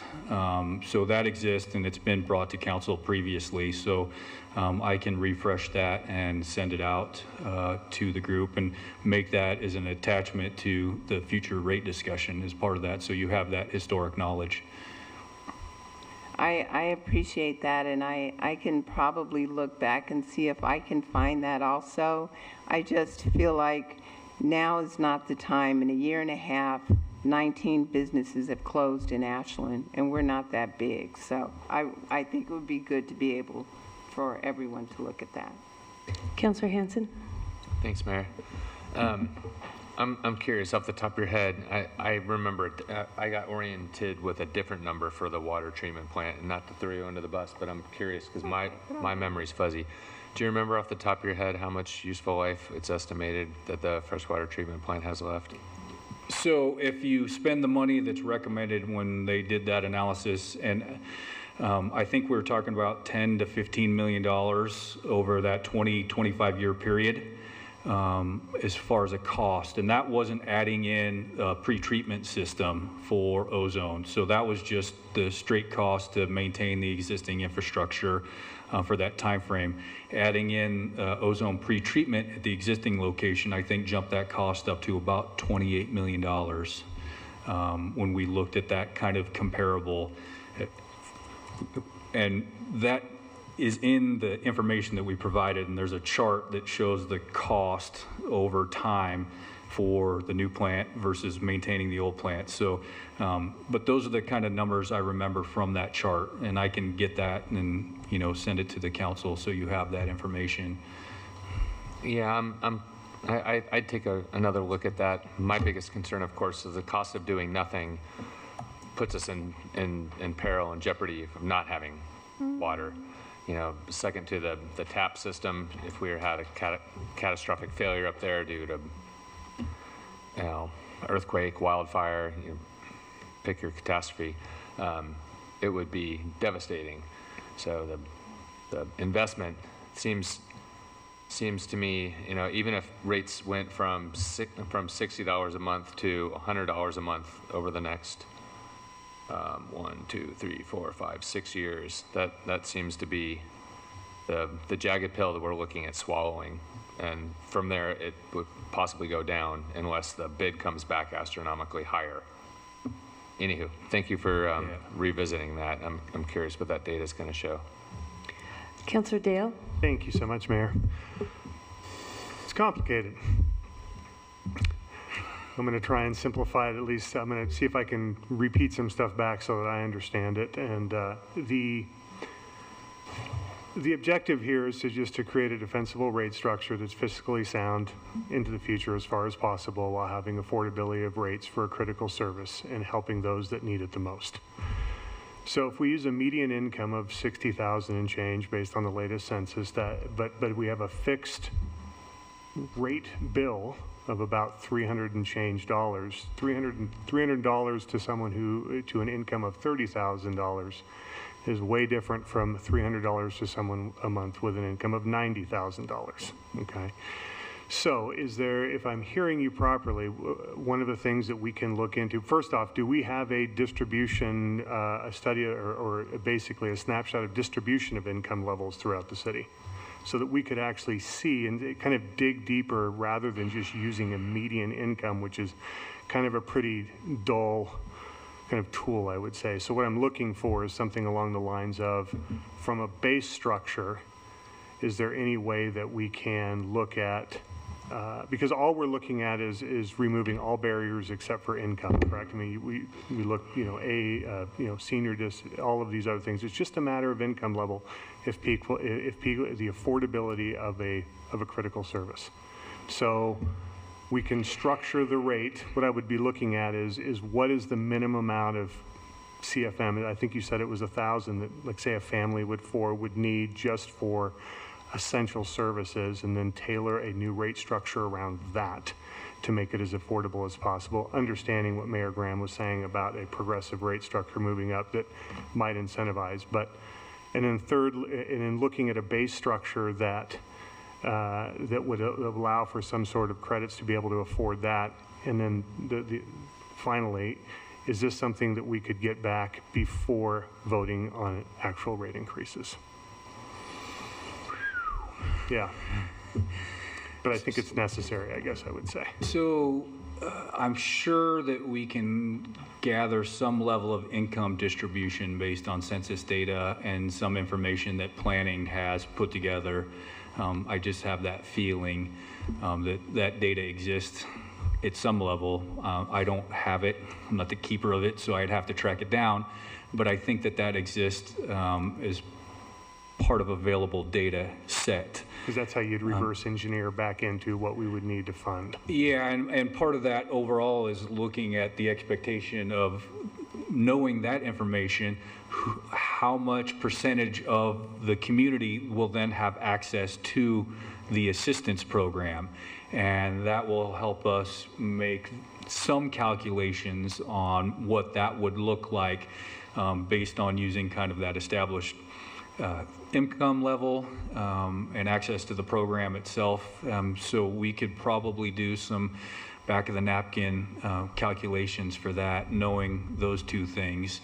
Um, And then I will say, everything else really should, once we have that for this next discussion, should really be taken for, taking account of in the cost of service study. Um, And let the expert walk through the process, develop recommendations for the structures, look at alternatives to how to accommodate meeting that revenue requirement. Um, Knowing that we're going to change this program, knowing that we're going to have this much uh, more access to it, um, and then put that program into place and monitor it and let that be the driver for the rate forecasting for the, you know, fourth biennium year and the sixth biennium year is part of that process. Thank you. Councillor Hyatt? Thank you, Mayor. Um, Scott, more of a confirmation than a question. As we have walked through a variety of permutations here this evening, we are looking at the most conservative version of numbers. So said another way, we are looking at the highest possible version of rates because that is what is most conservative. So the 10% is as high as we would go under the conservative view. With that in mind, we then have a series of levers. One, the current CIP and projects that potentially can come out to the tune of millions. Two, options on grants that if my mental math is correct are somewhere between 9 and 15,000, sorry, 9 and 15 million this year. So, so far, we're up to 21 million between taking 6 million out of CIP and another 15 potential in grants if we hit the jackpot. Start crossing our fingers and toes. And we are working within a range of 55 to 70 million on the plant price. So it could be 21 off of 70, or it could be 21 off of 55. We don't know until they bid it in the spring. So what's coming before us tonight, I feel like if we were looking at this as a piece of pie, we're eating the crust first because we still have some narrowing to do. And with that narrowing, we can better understand, in addition to what Councillor Dahle is requesting, just what it really means to the community. To effectively get there, we need four to six months, is what I'm hearing. Am I, am I clear? Yeah, and so, you know, from that, if you read the, the technical memo, one of the things that she's doing in that rate forecasting is she's forecasting your expenses based on historic, um, which could change. They could go up or down, you know, based on your materials costs. She's forecasting debt service at a higher rate than typical just to protect the enterprise. So all of those things are subject to change. Our interest rate for the, the project is subject to change. The construction cost is subject to change. So there's a lot of dials that will spin a certain direction over the next few months. Thank you. Councillor Kaplan? And um, just following up on uh, Councillor Dahle's uh, comment and summary, an excellent summary about the thousand uh, cubic feet of water usage. That that's a metric that's used for comparison across uh, across uh, units. That's, That's that doesn't that doesn't correspond with Ashland's average water consumption, which is uh, somewhat low, um, somewhat lower than that. Um, but that, that that's just a metric for the purpose of calculations. Yeah, as you remember last meeting, we talked about it, and the, uh, they calculated about 104 gallons per day per capita on the residential side um, for residential use. Um, I know our overall total burden is about 125 gallons per day per capita, but when you just look at the residential block, it reduces it to about 104 gallons per day per capita. So that's a lot. So, so those numbers on um, uh, burden on uh, median household is also slightly less uh, because of because of that, and also that's one of the reasons to put if we put more onto the commodity, then people have a bit more uh, opportunity to reduce water consumption um, through you know a lot of the implements that the city already provides to do so, and therefore lower, lower their their cost. And I just want to say as a reminder for the whole rate discussion, in order for us to be able to have access to some of these funding sources, you know, especially the IFA, you're looking at that 1.25% of the median income, which puts your rate at, I believe, 6671, I think is what Catherine calculated in the packet, um, or in the technical memo. Um, so that puts you on that rate scale that opens up those grant forgiveness opportunities um, through alternate funding packages. And, and what's the, uh, can you explain the purpose for, why, why is that a requirement?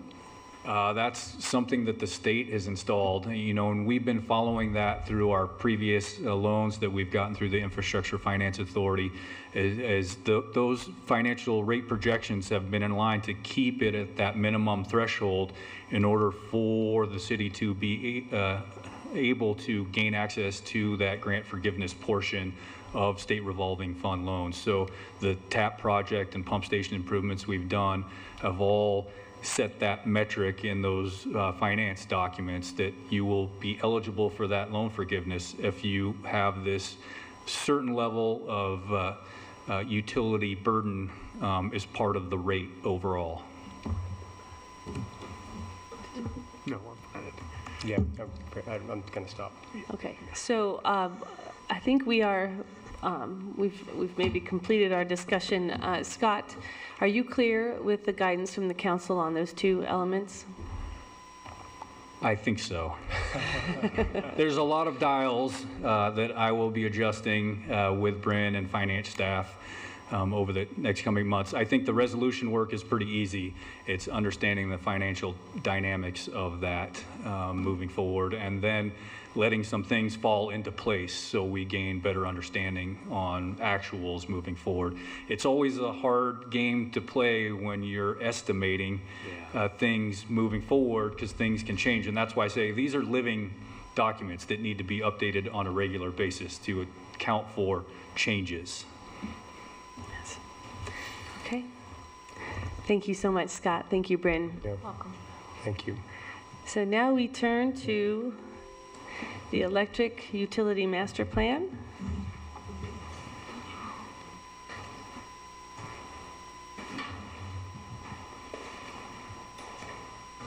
Good evening. Evening.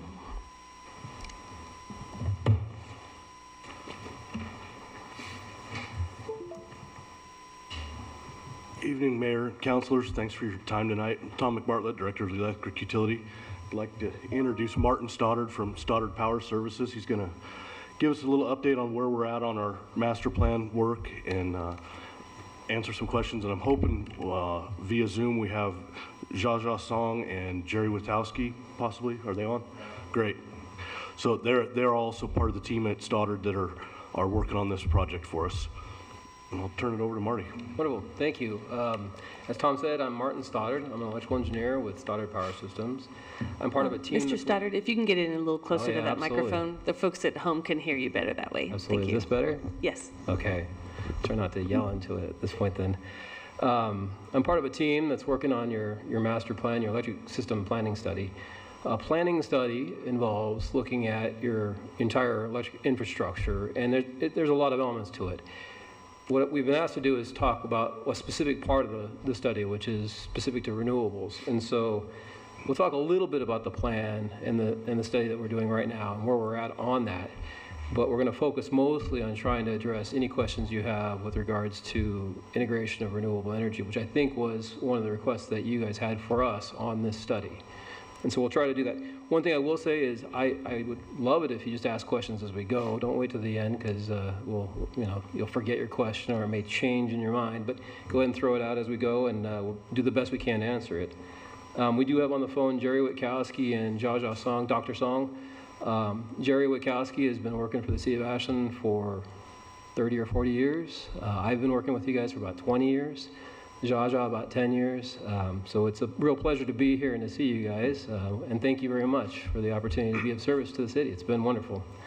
Um, as I said, I'm with uh, Stoddard Power System. We're a small business up in, uh, in uh, Eugene. Um, we've been doing power system analysis and studies our entire careers. So that's, that is our focus is power systems. Primarily from utility perspective, we do some development work as well. And I know some of the questions are probably going to be with regards to that. Um, we are about 40% complete with your study right now, and that's some of the legwork. There's a lot of things that goes into these studies, and so a lot of the focus has been on developing a, a model. I'll talk about it. We're changing the model. We've had a model of your system for a long time in a program called EasyPower. Um, there's a new system we're using that's GIS based. It's much better for a utility based system. The, the EasyPower model is a three phase only model. It is non GIS based. And so with a utility system, there's single phase loads. There's a lot more dynamics to a utility system that uh, the model we're building right now is, is very laser guided for. Uh, here are the specific things, though, that you guys requested. Opportunities and barriers for adding renewable energy resources. And what we'll talk mostly about is the ways and what are the impacts of adding these resources to the, distribu- the distribution system, your distribution system, and the difference between that and, say, a transmission system. Um, assessment of the city, city's readiness to accommodate high adoption of electric vehicles and fuel switching, specifically the reduction of natural gas, which turns into electric load on your electric infrastructure. And then recommendations for integration of the city's climate and energy action plan. We'll talk a little bit about that, you know, about the different options and opportunities for that. But that's a, a very big global um, um, goal. And so when you get to the specifics, that's when we can really talk about the impacts. When we talk about global, there's a lot of options, a lot of opportunities out there. So it's very hard to get down to, we'll say, brass tacks in terms of what it specifically you want to do to integrate renewable energy. Uh, here's a quick look at your, your city map. So the, the map you see on the left, that is our model that we're building right now. That's a Milsoft model. It's a GIS-based model. You can, you can see it looks a lot like the, the system on the right. And so with that model, we'll be able to more readily do the feasibility analysis that we've done for you guys for a very long time. So you say, we want to add a generation resource or a large load in a different location. We can then throw it into that model and see what the impacts will be on your load profile, on your voltage, power quality, things of that nature. And so that's part of the study is to develop that model. On the right, you know, I don't, I don't know how familiar you are with your system. You, you take service from three different substations. In the north, you have the Ashland substation. Um, there you take it in a regulated 12.47 kV is, is your service. So you are sharing resources with PacifiCorp there. They own the substation, they own the regulators, the racks, you own the reclosers, and then take the feeders outside of that substation. Um, in the south, you have the Oak Knoll substation. That is also owned by PacifiCorp. There, the city owns nothing inside the fence, and so you take the service right outside the fence. And so for years, that was a problem because if you had a problem on your feeders, you had to coordinate with Pacific, PacifiCorp to lock out those feeders. And so a number of years ago, you installed reclosers outside the fence that you could control, and they are coordinated with the interior breakers and reclosers. So now if you have a fault on your feeder, your recloser will trip first, and you have full operational control over that. It's a very different dynamic than owning a substation. You, you don't own anything inside the substation. You only own the distribution feeders outside of that, that substation. And then the last one, relatively central to the city, is Mountain Avenue substation. That one, um, uniquely, you do own the, the, transformers now. You didn't for a very long time. And, and, for the last two planning stages, you'll see the recommendation was buy that substation. Um, you have now purchased that substation. So you take service there at 115 kV and own the transformers and everything else in the substation. That gives you a couple of things. It gives you a lot of flexibility on what you can do with that substation. And as you transfer load, you'll see one of our recommendations will be, and has been in the past, to transfer load off of Ashland to Mountain Avenue to the extent you can. There's only so much you can do. What that does for you is it avoids the transformation charges that PacifiCorp charges when they own the transformer. When you own the transformer, those losses are your losses, and so you don't get charged for those losses. And so you'll see that being one of the recommendations. And we'll talk a little bit more about some of the recommendations with regards to that, that uh, your So we have a question from Councilor Yeah. Dahle. Just a real quick question, I may have missed it. What was your KVA out of the Oak Knoll? out of Oak Knoll.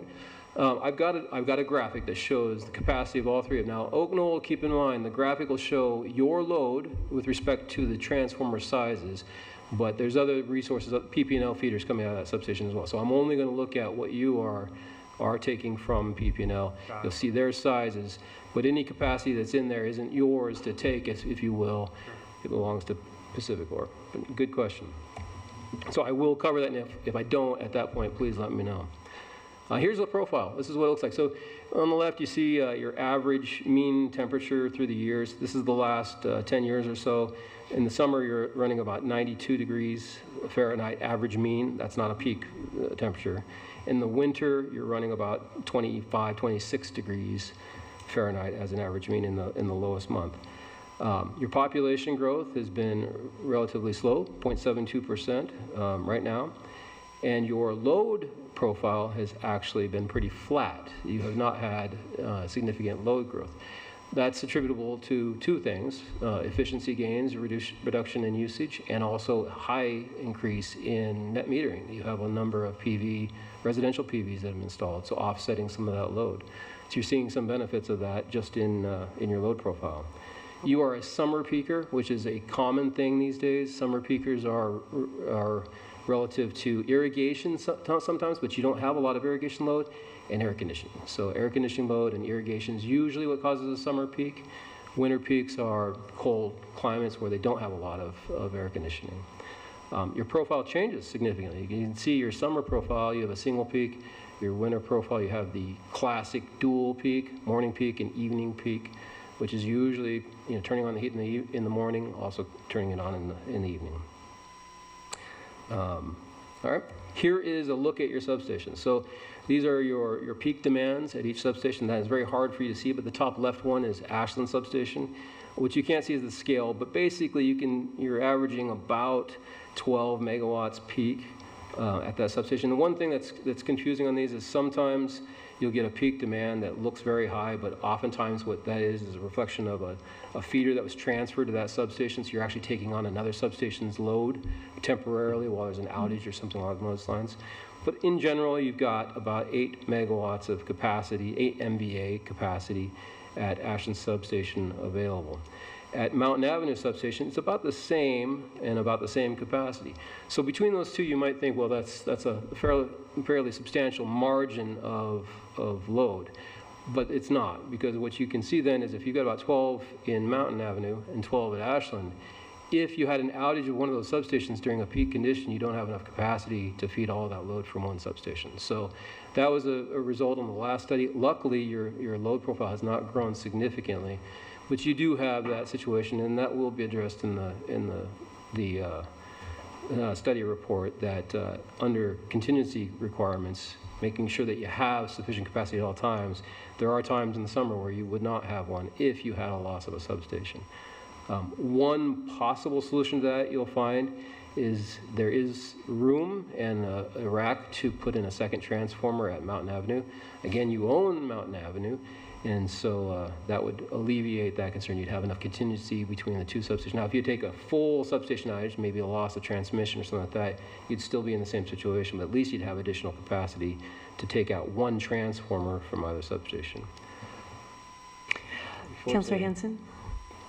Yeah. Uh, Martin, I have a question. Backing up a slide, what, Sure. what's our, what's our average kilowatt hour energy usage? Um, kilowatt hour usage in 2022 was about 165 million, but average like as in uh, um, monthly. Yeah, I know it's seasonal and it's, it's hard to, it's hard right. to capture it. So let's just go, let's just look at it over, over 365 days. What's our, kind That, our? that is your kilowatt hours in uh, 365 days, about 165 million. If you look here, and that's, again, it would be easier if I could zoom in on that. Um, on the summer peak, you can kind of make out that your peak, total peak in the summer is 35 megawatts. Your total peak in the winter is about 33 megawatts. So not much less than it is in the summer. Um, the other way to look at it, that would be the area under the graph of those two curves is your, your average kilowatt usage.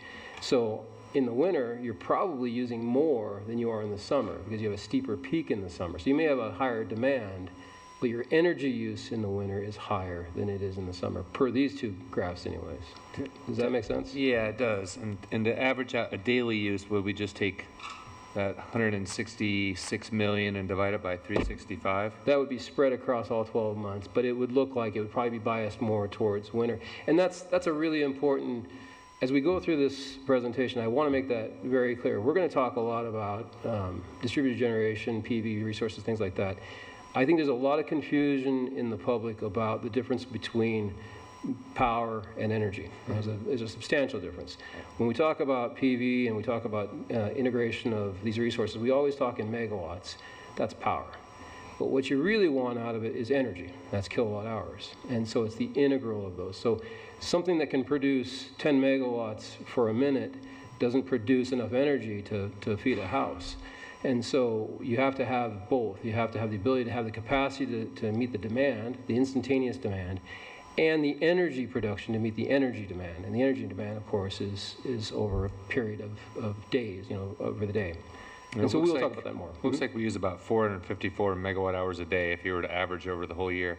My, my question back right now to the other graph is, Mhm. if we were to invest in the mountain substation, would we, would we be able to meet our 35 megawatts if we, if we added, like you were saying, there's an empty rack? Yes. Okay. Yes. Yeah, so that, that 20 MVA um, capacity that you see right there is a, a force-cooled capacity. And so when you look at your transformers, I, I'm going to go on a limb here. I assume you have a 12, 16, 20 there? We do. Okay, so your, your transformer right now is a 12, 16, 20, which means it's got a self-cooled rating of 12 MVA. And then the first set of fans kicks on, bumps it up to 16, the second set bumps it up to 20. If you add another 12, 16, 20, exact same profile, you'd have a capacity of 40 megawatts. Oh, gotcha. that Okay. substation. Yeah. Awesome. Thank you. Yeah, you'd have a, a self-cooled capacity of 32 and a force-cooled of 40 megawatts, so, or MVA. And that's another one, you know, trying to stay out of the, the electrical theory as much as we can. I'm going to use megawatts and MVA interchangeably. They're not the same thing. MVA is really current capacity, and your, your stuff is sized on MVA. It's sized on the current capacity. But what we really are talking about here is energy, and energy is megawatt hours, kilowatt hours. So I'm going to kind of throw those back and forth. If you know the difference and you're catching me on it, I apologize. I know I'm doing it, but it's just easier to talk megawatts. People like megawatts. They don't like MVA. They don't know what that is. so. Uh, all right, climate energy action plan. I don't need to tell you what this is. Uh, You guys developed it, so you, I'm sure you know exactly what it is. Uh, it's your goals for overall reduction of greenhouse gas emissions by 8% on average every year to 2050 and attain carbon neutrality. So um, that is your goal and that's your, your plan there. And then also to be ready for projected climate changes.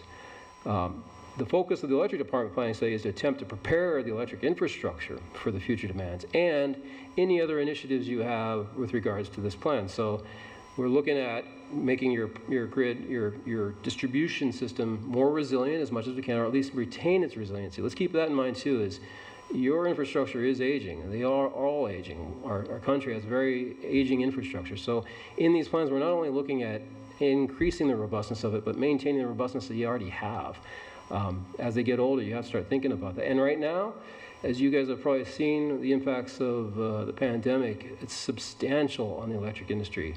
If you have to replace that transformer at Mountain Avenue substation, you're looking at about three years to get a new one. So that's, that's where they're at right now.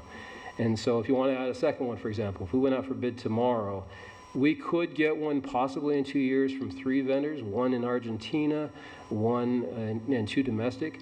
Um, but the days of getting 10 bids on a transformer are largely gone right now, at least. We're in a period where they have so much demand that they aren't even bidding transformers. So, Councillor Hyatt? yes. Thank you. Tom, I think this is probably going to be more to you regarding the transformers specifically. We did give authority to the city manager for purchase of those, given the inflation of the cost, so they don't have to come back for every purchase because of the threshold, given the Right. cost inflation. And we have pre-purchased some to be ready for that, that are on order? Uh, yeah, what that was focused on was distribution transformers. That Okay, we- different. The, yeah, the stuff, that we, this day-to-day stuff that all of a sudden became over that threshold because of inflation. Yeah. So that's why we came in for that authorization, so we could just still purchase those the same way we always had day-to-day for normal operations. But it was, that was just distribution transformers, and some of the bigger three-phase transformers had really went up in price, like the one at Tesla. You know, five years ago, I'd have bought that transformer for forty thousand dollars. It's 150,000 now.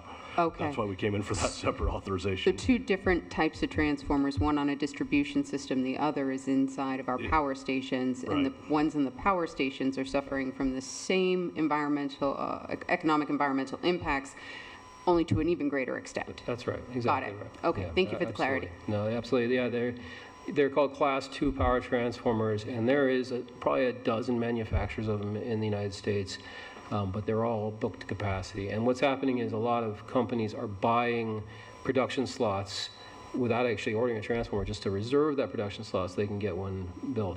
Another thing to keep in mind on that, in terms of power transformers, is um, they also usually put escalation clauses in them. So you would prefer to be able to go out for a fixed bid and say, I want a transformer, what's the price?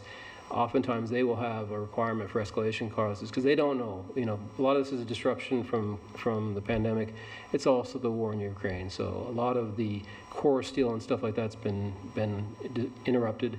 And so they're having a hard time focusing or, or forecasting what the, uh, the costs are going to be. So they add escalation clauses to their, their bids. Um, But I digress. Let's get back to the planning study. Um, So the, the city's path is to transition to clean energy. Uh, The natural gas ban is, is one uh, initiative. I, I think that is still to be passed. Is that correct, or is that uh, It's still in discussion. still in discussion? Okay. I, I know I'm from Eugene, where, it, it- you know, we- we're one of the others in the state right now that has gone through that. Um, re- Increased renewable energy portfolio, and then electric vehicles. Electric vehicles, of course, you know, that's, that's, the wave is coming, it's inevitable, it's, it's happening, we're seeing it, and so we'll talk a little bit about that and the impacts. It's surprising, it does have an impact for sure, maybe not as much as you might think. Um, the capacity isn't as much as you might think it would be, and it depends on the types. The technologies for all of this have changed a lot, and uh, we've got some examples of studies we've done for you before some of the technology advances that we have today. And so I expect that's going to continue. I can't tell you what exactly technology will be tomorrow, but uh, it's impressive how uh, this part of our industry is, is advancing. Um, maximize energy efficiency and reuse. Uh, I'm not going to dwell on that, but no question about it. The bang for the buck, energy efficiency is, and, and reduction is, uh, is an immediate gain. Um, support climate-friendly land use and management. Reduce consumption of carbon-intensive goods and services. Actually, I'm not going to read through all these. You know these, and lead by example. So if you have questions on those, I'd be asking you the questions on that, not not the other way around. That's your study. Um, so some more of the transitions. You know, the, the goals for the transitions. Um, I don't think there's anything in there specific that we need to talk about, other than Ashland's electric grid capacity may need to be upgraded to support the additional loads. It really depends on what specifically you want to do. I think what I want to do today is make sure you understand what limitations there are to integrating at a distribution level versus a transmission level and what the impacts of doing that are. So, and, and some of the costs. We certainly will talk about costs as much as we can. Um, here's the, the, a basic portfolio. Some of the things we'll talk about today, solar energy and, and photovoltaic, there'll be a lot of discussion about that. Hydropower, you do actually have hydro resource here, which I'm sure you're familiar with. We'll talk about that.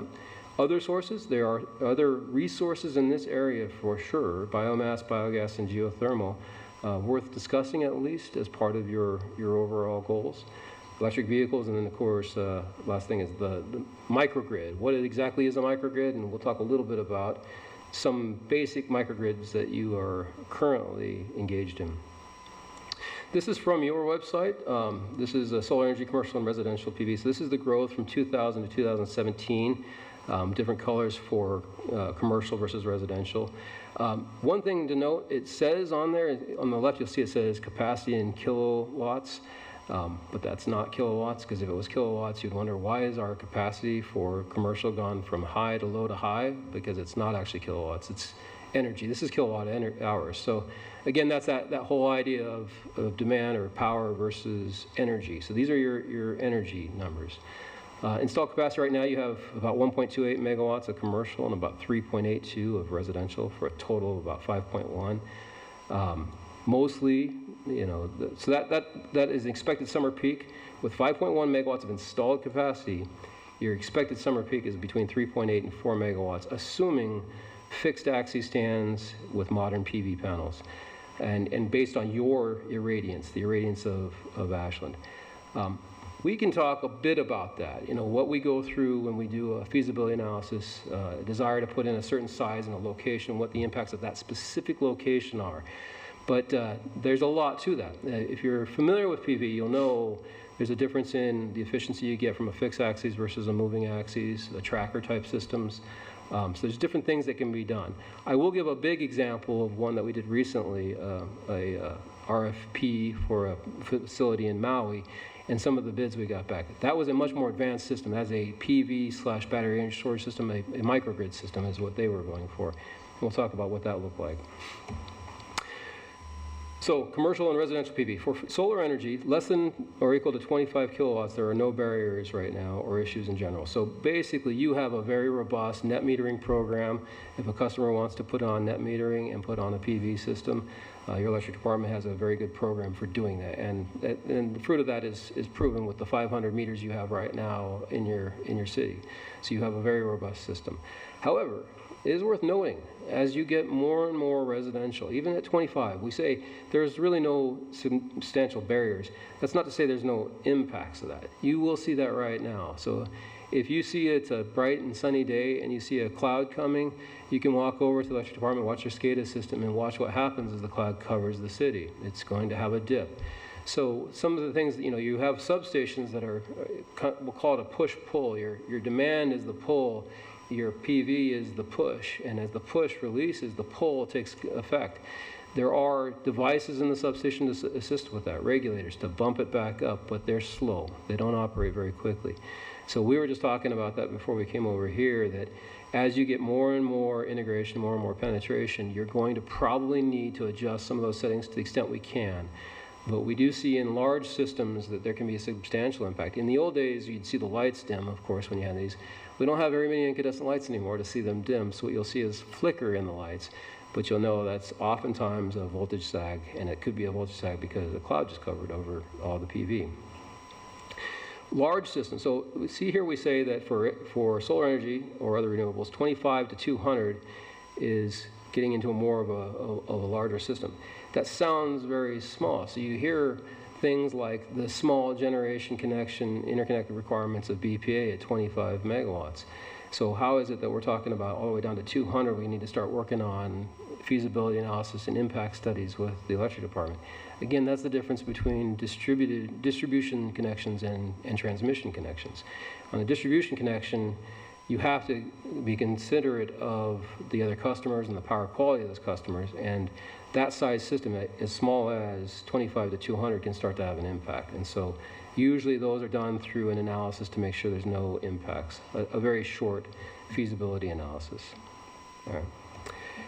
Getting into large is greater than 200. Again, I, I said 25 meant 20 megawatts for BPA standard, but for a distribution system, it would be 200 kilowatts.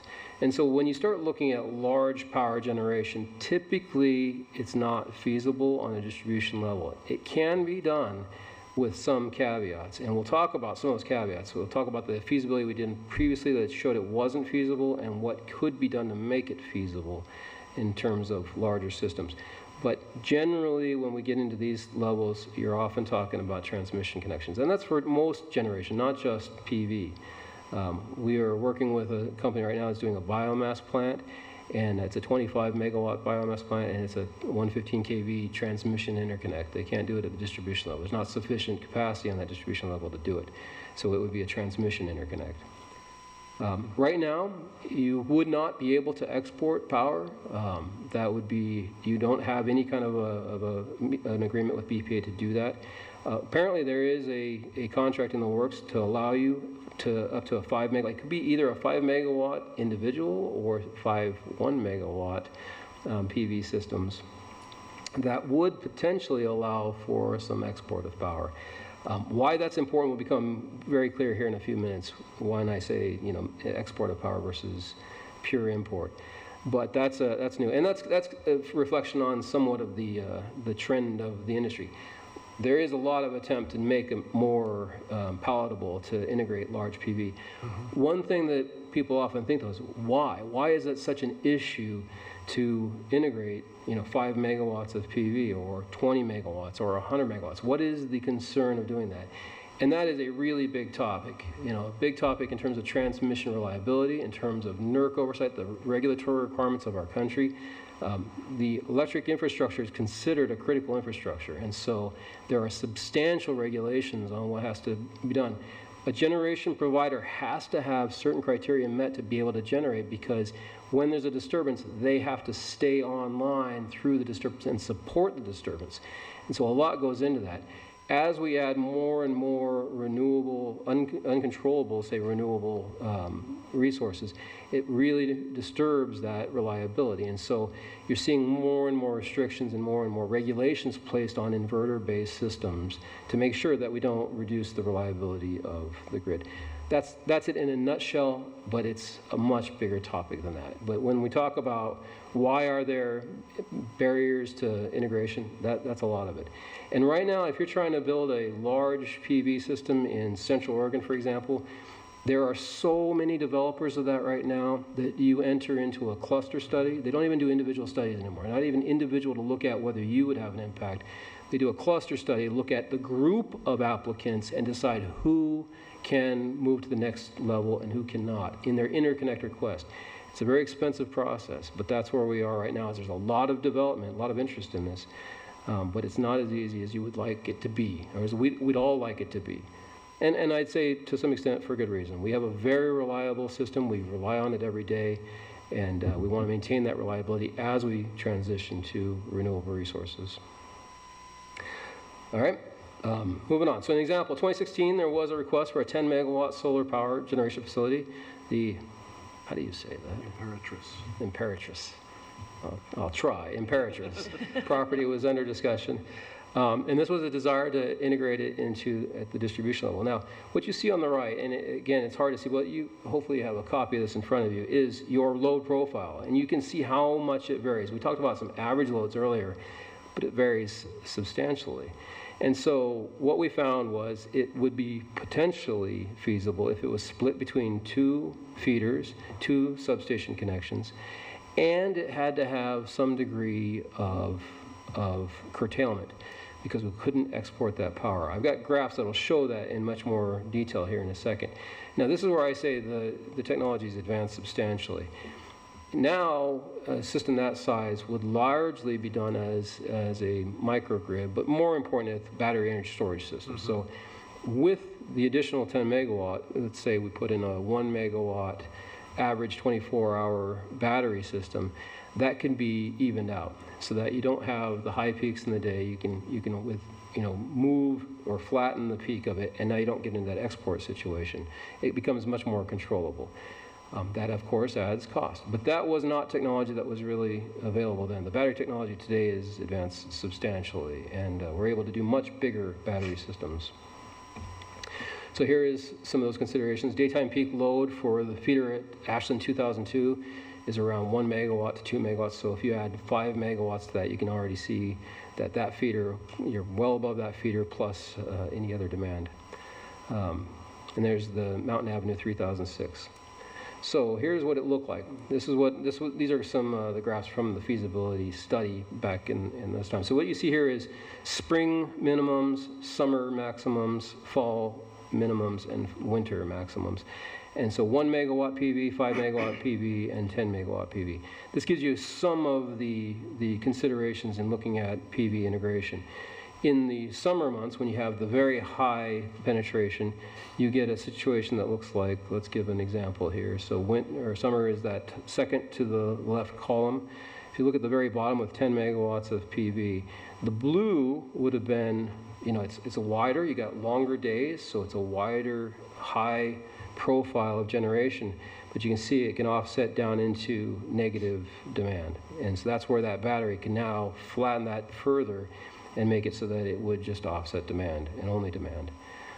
Also notice over on the winter though, how much, the, the scales are hard to see in this slide, but hopefully if you have a copy in front of you, you can see how much smaller the profile is in winter months.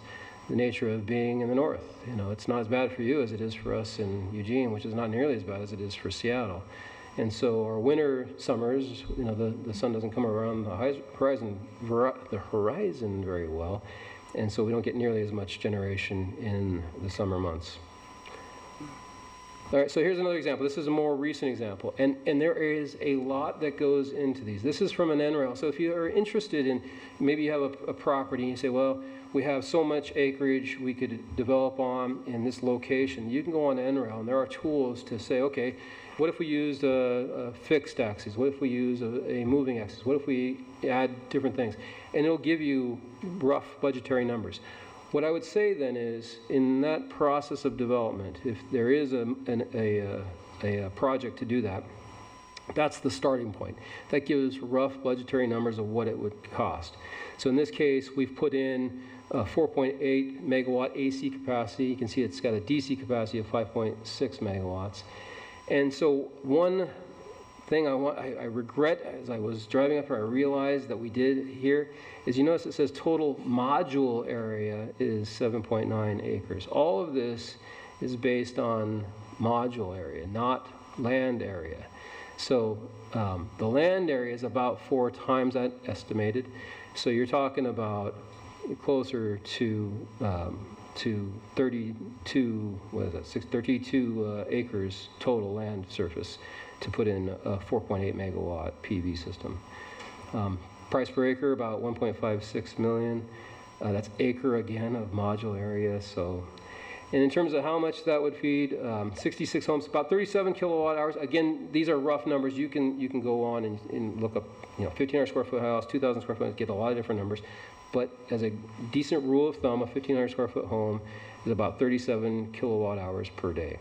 And so for one acre of modular area, it's about 66 homes. So divide that by four for one acre of land area. And that's kind of what you're looking at. Price, about 12 cents per kilowatt over the LCOE, over the lifetime cost of the energy.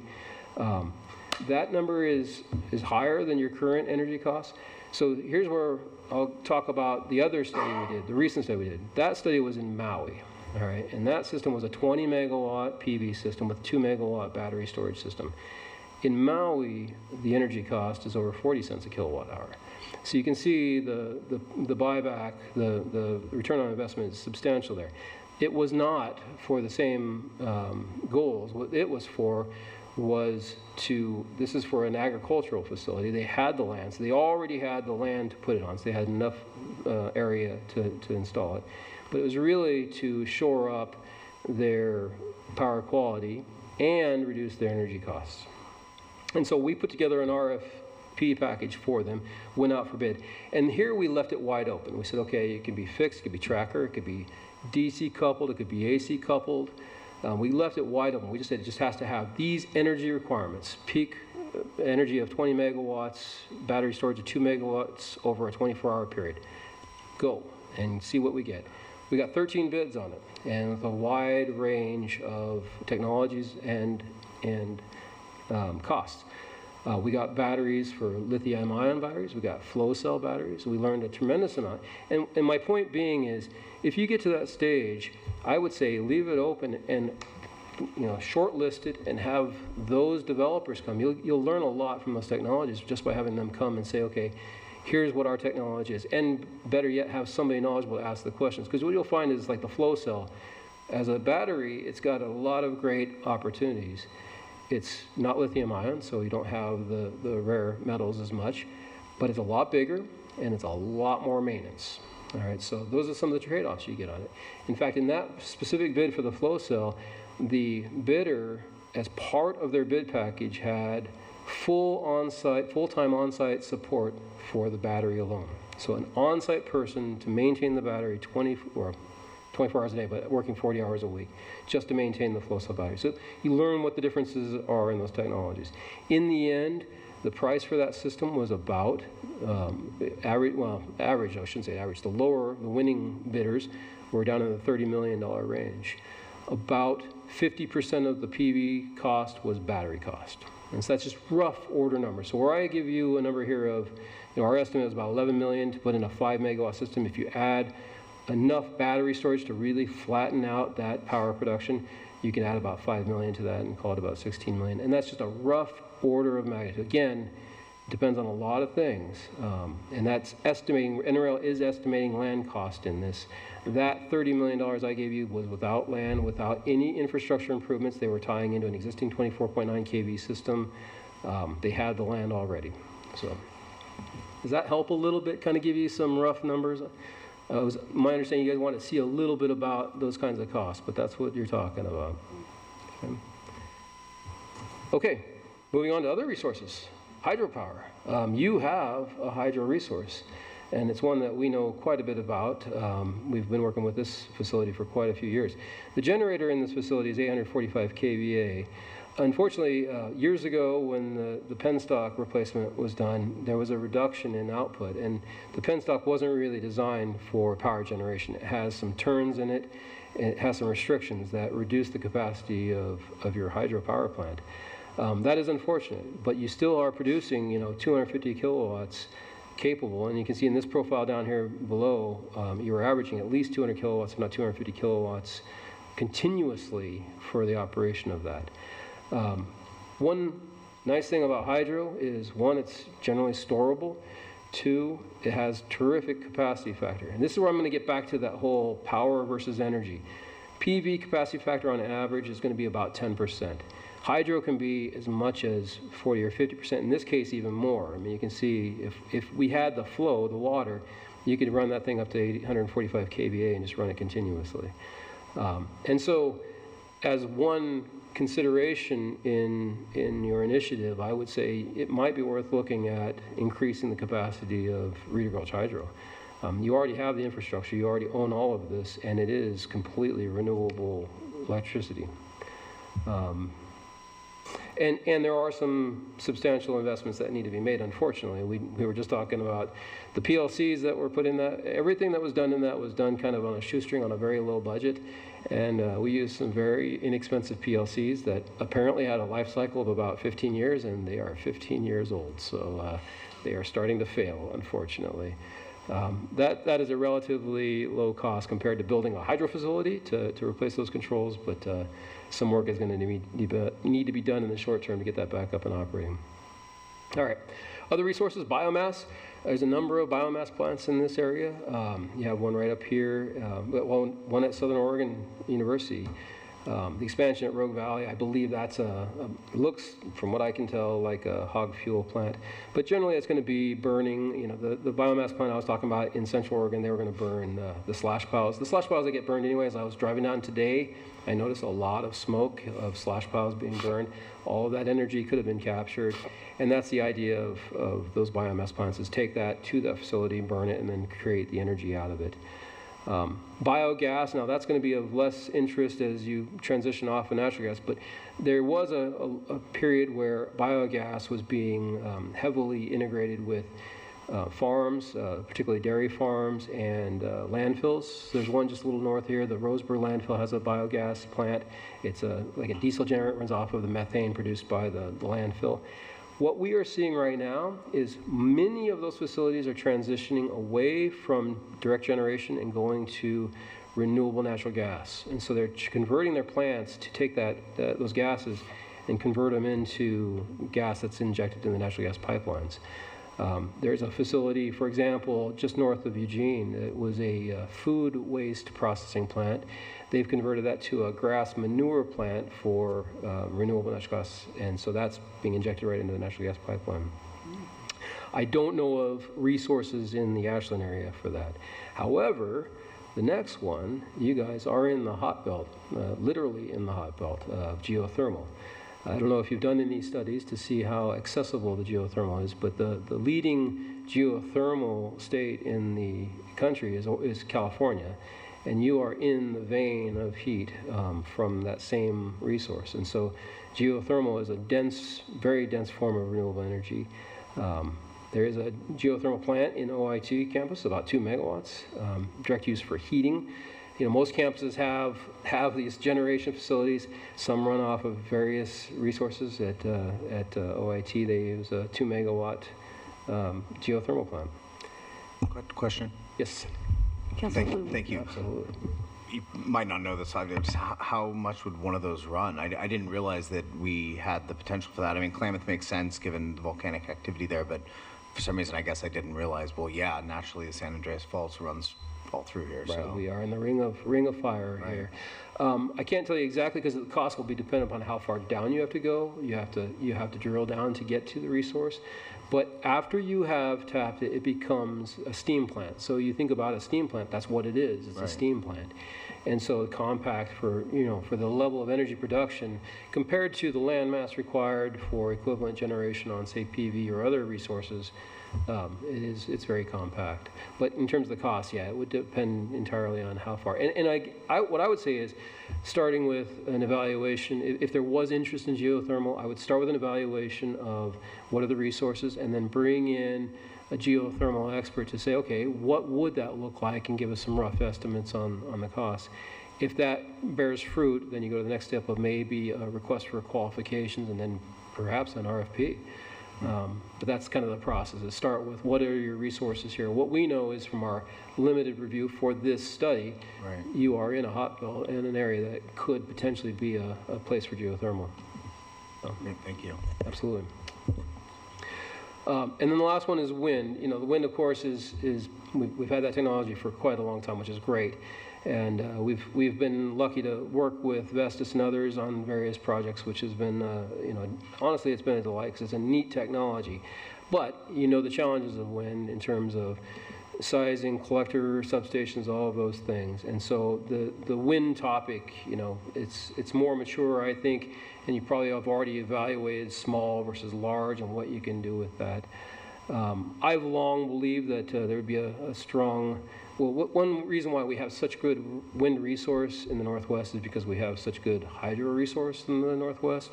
We have the ability to both provide VAR support. Uh, I was going to try to avoid those terminologies, but we have reactive power support that we can get from the, the hydros. In fact, it's to a point, I'll, I'll give you just kind of a big picture on what wind takes. Okay, so you have wind wind farms with generation variability you have to be able to absorb, but they also are oftentimes starving for voltage support on the transmission systems. So you have places like the Dalles Dam, their units, they have a couple units that they can actually blow the water out of the turbine bay and run the generator as a big motor just to provide voltage support, reactive support for the grid. So what they do is they just overexcite this thing as a big motor and it provides the reactive support for the wind farms. A lot of those things that you know we're, we're oblivious to, I guess, as a public, are what is the dynamics of running large transmission systems. Is you get that kind of penetration, you have to provide other support for it. But we also have the benefit up there of a DC-DC converter. So as we get a more and more of that generation, most of that gets just distributed down to LA. They run it down a DC line and we sell it to, to California. All right, so that's all I'm going to say on, on wind. I think for distributed resources, you probably have uh, some familiar. Those are the big pictures on. Um, next would be electric vehicles. But anything else on on just power sources and distributed energy or renewable energy opportunities? Councillor Hansen. Sure, thank you. Um, I was I was going to wait for the end for the punchline here, but if you want to dig in now, questions as we Absolutely. go. Here we are. So I'm looking back at your. Um, it says page 16 on my slide deck. Um, we were looking at the at the spring, summer, fall, winter examples for one, five, and ten. And I apologize, I haven't nerded on on this. Where are the sweet spots for Ashland's utility to aim for if we wanted to produce a net zero profile?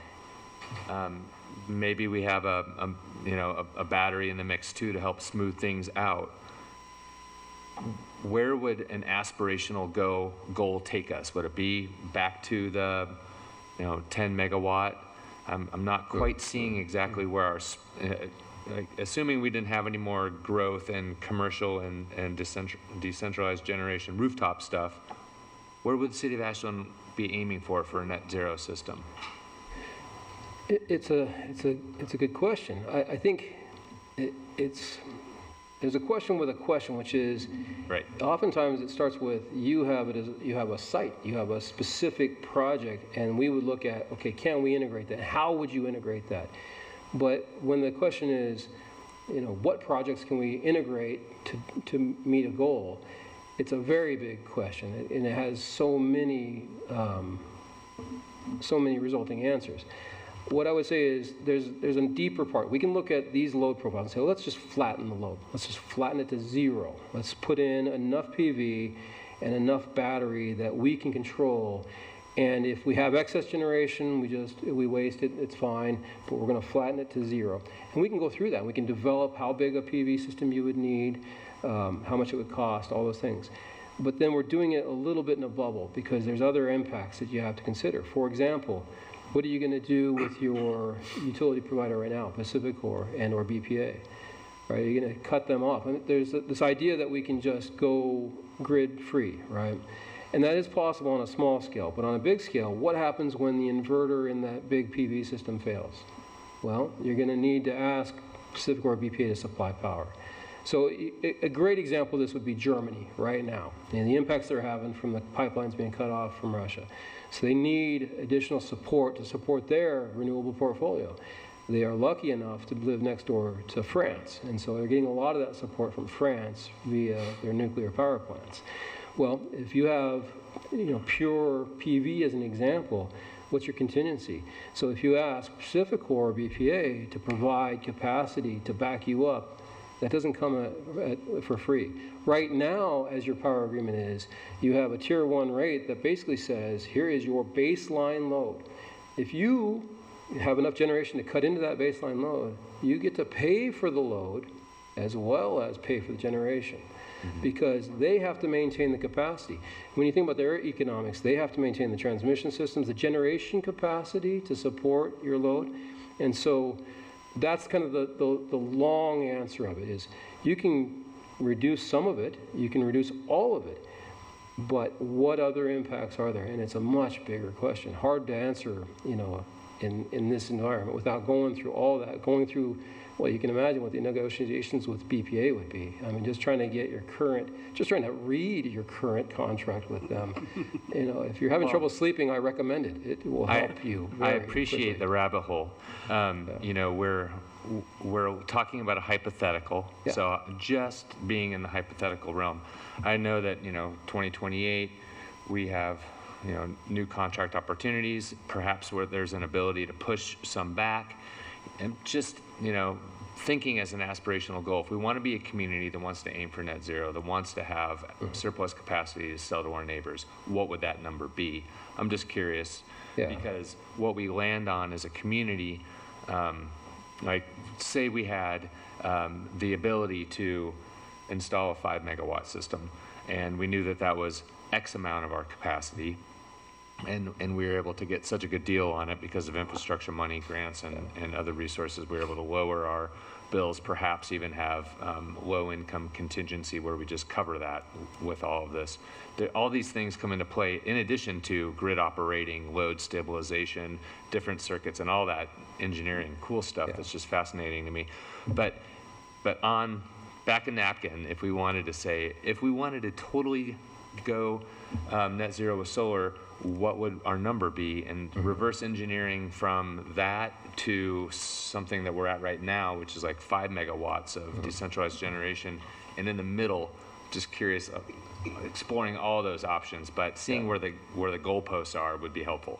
I think the, the most feasible approach would probably be establishing a transmission tap to take your renewable generation outside of your distribution system, not do it inside the distribution system. So have a dedicated, you know, in that respect, you become a power provider. Mm-hmm. A power provider for yourself, selling the power to yourself. Like many communities already are doing. Exactly, but doing it through the transmission system, not through the distribution system. As a distribution system, yeah, we, you can integrate significant amounts. Like, let's say, for example, you decide, well, we've got, what, our peak right now is, what, 35 megawatts? Yeah, average, I think our historic high is 44 or something like that. So, you know, just in terms of big picture, how do I integrate that much? Well, they have these, these distributed energy controllers that you can put in the substation that control your distributed resources. You can integrate PV and geothermal plant and wind plants and integrate all your distributed resources and it will control them to make sure you're not exporting so it, it will curtail as needed it will also they're, they're very sophisticated now it will also prioritize the best resource the lowest cost resource in that portfolio so that's how they're doing it right now in terms of of controlling it but that's, again, without consideration for what would be the impacts from the BPA contracts and things of that nature. I, I do think that process, you know, the fact that you are able to, right now to negotiate a contract with potential export is a major advance. Now, if you negotiate a contract for power, if you're wheeling it through their system back to sell to yourself, that's a lot easier than selling it to BPA. If you sell it to BPA, you're going to have to establish a, a power purchase agreement. And to do that, they're going to need to have some, they're going to have re- requirements. You are required to generate this amount, and if you don't, you're going to be penalized. Right? They're looking out for all of their customers. If we're going to buy your power, if you're not available, I got to get it from someplace else. So you better be available, and that's going to be part of your power purchase agreement. So without that, now you're you're selling it wheeling it to yourself. You're still in that same situation of if it's down, you're back to, you know, getting power from, from BPA. And so I would say, you know, the, the most feasible is, is definitely transmission interconnect for single point large generation. For a system like this, it would be a distributed generation. You've heard that, and you hear, see there's a lot of buzz about distributed generation. Distribute all the resources you can, and then have central control for it. I'm going to add one more complexity to that, which is in that concept of central control, remember you have a classic distribution system with a lot of overhead lines, all right? You, you know that, you see it, you drive around it, and you wonder, why do we have all those overhead lines? And then you ask the question, Tom, why do we have all those overhead lines? And he says, well, you know how much it would cost to put that underground? And he gives you a number. And you say, okay, now I understand we have all those overhead lines. Well, those are going to add, you know, you've got a lot of faults on those lines. That's why we have reclosers. Reclosers and generation don't work very well together typically. Um, so we have to consider that. Um, you have to consider the fact that you tie. You tie substations, you tie feeders. You have to move these tie points between different substations. So that adds more complexity to your distributed energy controllers. Um, so it is, you can see in, in this analysis, in this study, your question, we can, we can touch on it. We can talk about here's the resources, here's the, the opportunities. But it's a big um, um, problem. Not, I shouldn't say a problem. Uh, it's not a conundrum. What, what's the word I'm looking for? It, it requires a lot of analysis and thinking and looking at what. that's why I say here's, here's the opportunities for a resource. I would say the next step is go find what is the most feasible of those resources. Start looking at pet projects to develop those resources and building your distributed generation system over a period of time. Well, Does that make sense? Yeah, well, fair enough. I put you on the spot and you're not giving me an answer. So um, I understand this is a study. Uh, at the end of the study, that's definitely something that I would like the community to have their their heads wrapped around. Mhm. If we did a if we did a five kilowatt system on um, 30 or a five megawatt system on 32 acres, Mhm, because mhm. we had the land, we had the substation, how much would that offset? And then we could feed that into our our different rate analysis and things like that. But this is fascinating. So thank you for entertaining that, and I hope to get to that answer when we're done months down the road. That is an answer that we can put in the study, which would be similar to the graph you just saw, the one, I think we did one, five, ten. We can do something similar, and now we can add a couple other elements to it, like, okay, this is just fixed axes, no battery energy storage, and here's, you know, variable axes with battery energy storage, kind of concept. And, and yeah, and then we start talking about where, you know, where in the grid does it become useful for Tom to have um, five megawatts in a battery? And then, and then we can really extrapolate what does it look like to, to sell if we had a contract that it was able to do that. Yeah, I, I, I, you know, I can't promise a blueprint. I can't. Um, it's it's a much more complex thing than that. But we can promise information that will help.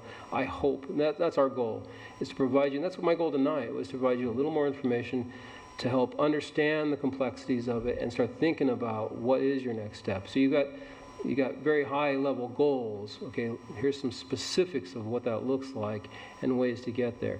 But the actual plan is going to involve a lot of different elements of that. And it's, and it has to be executed with pragmatic, you know, uh, tools. What are the grants? What are the, what, what does the land look like? You know, what is the department able to hold? And what kind of infrastructure do we have there? that We, we don't want to, you know, light a bunch of fuses out there. We want to make sure everything works. Properly. Absolutely. Thank you so much. This you is bet. awesome. Thank you.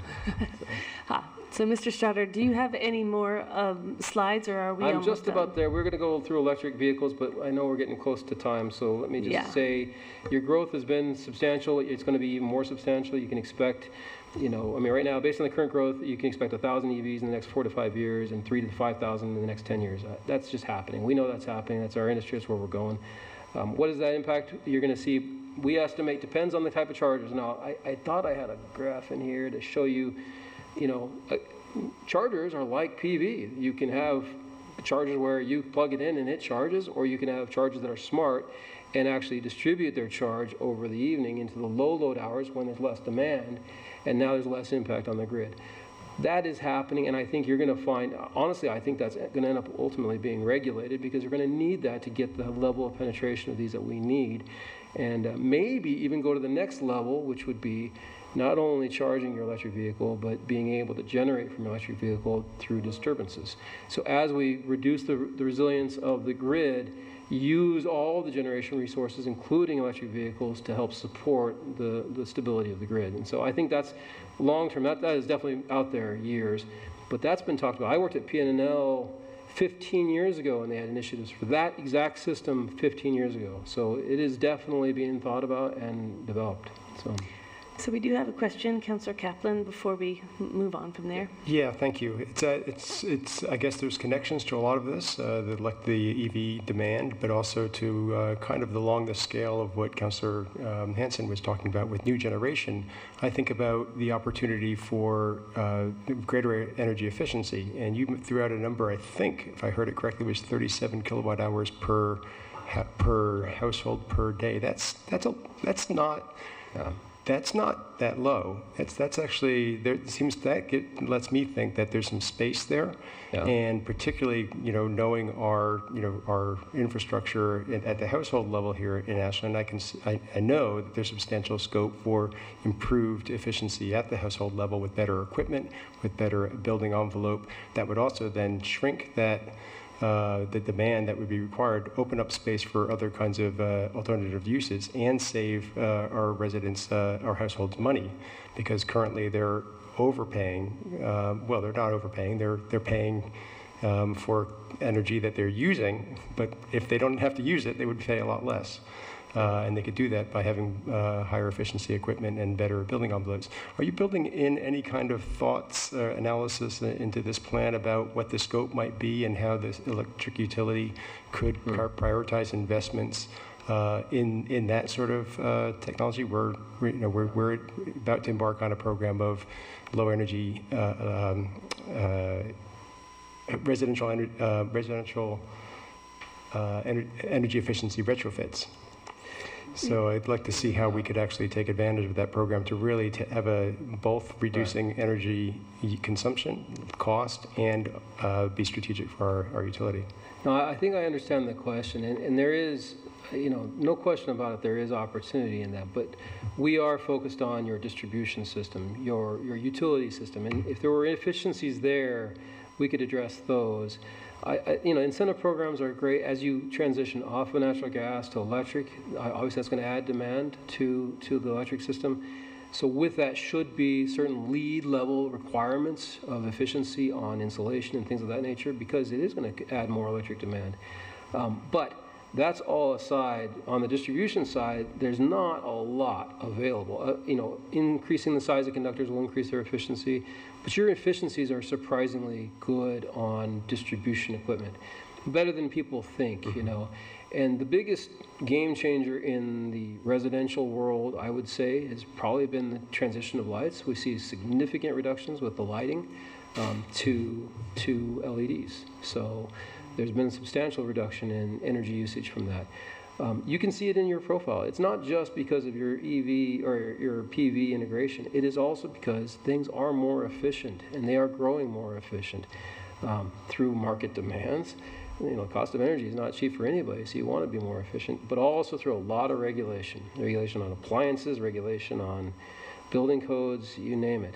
Um, in terms of incentive programs, though, um, no, we are not presently addressing incentive programs for residential. You know, um, I will say we are power engineers and we deal with the power equipment, and usually that stops at the the distribution transformer to the house, and then after that, um, you're into residential world, so building code world, things of that nature. So um, it would be great. I mean, it would be nice if we could cover, you know, all the way from transmission down to your utilization equipment, but that's a that's a big, uh, a lot of electric equipment.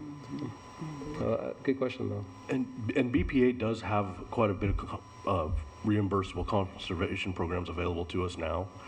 And we can get you that book of what those uh, items are. Yeah, I know, I know what's available. I'm looking at the, res- at the opportunity. Uh, It's not really so much of what the programs are out there, but, you know, looking at that 37 kilowatt hours per household per day, and, you know, th- there's, there's opportunity there to bring that down. And that's not just fuel switching. I mean, fuel switching is going to bring it up. That's, that's already people using inefficient uh, resistance electric heaters in the winter that are, you know, costing a fortune.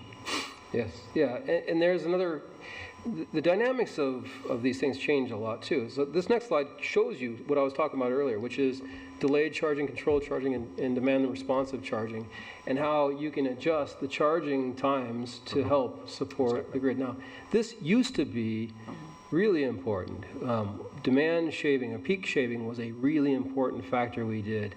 It's less important now. The, the cost, the demand costs versus energy costs, it's changed, and so the rate structures change.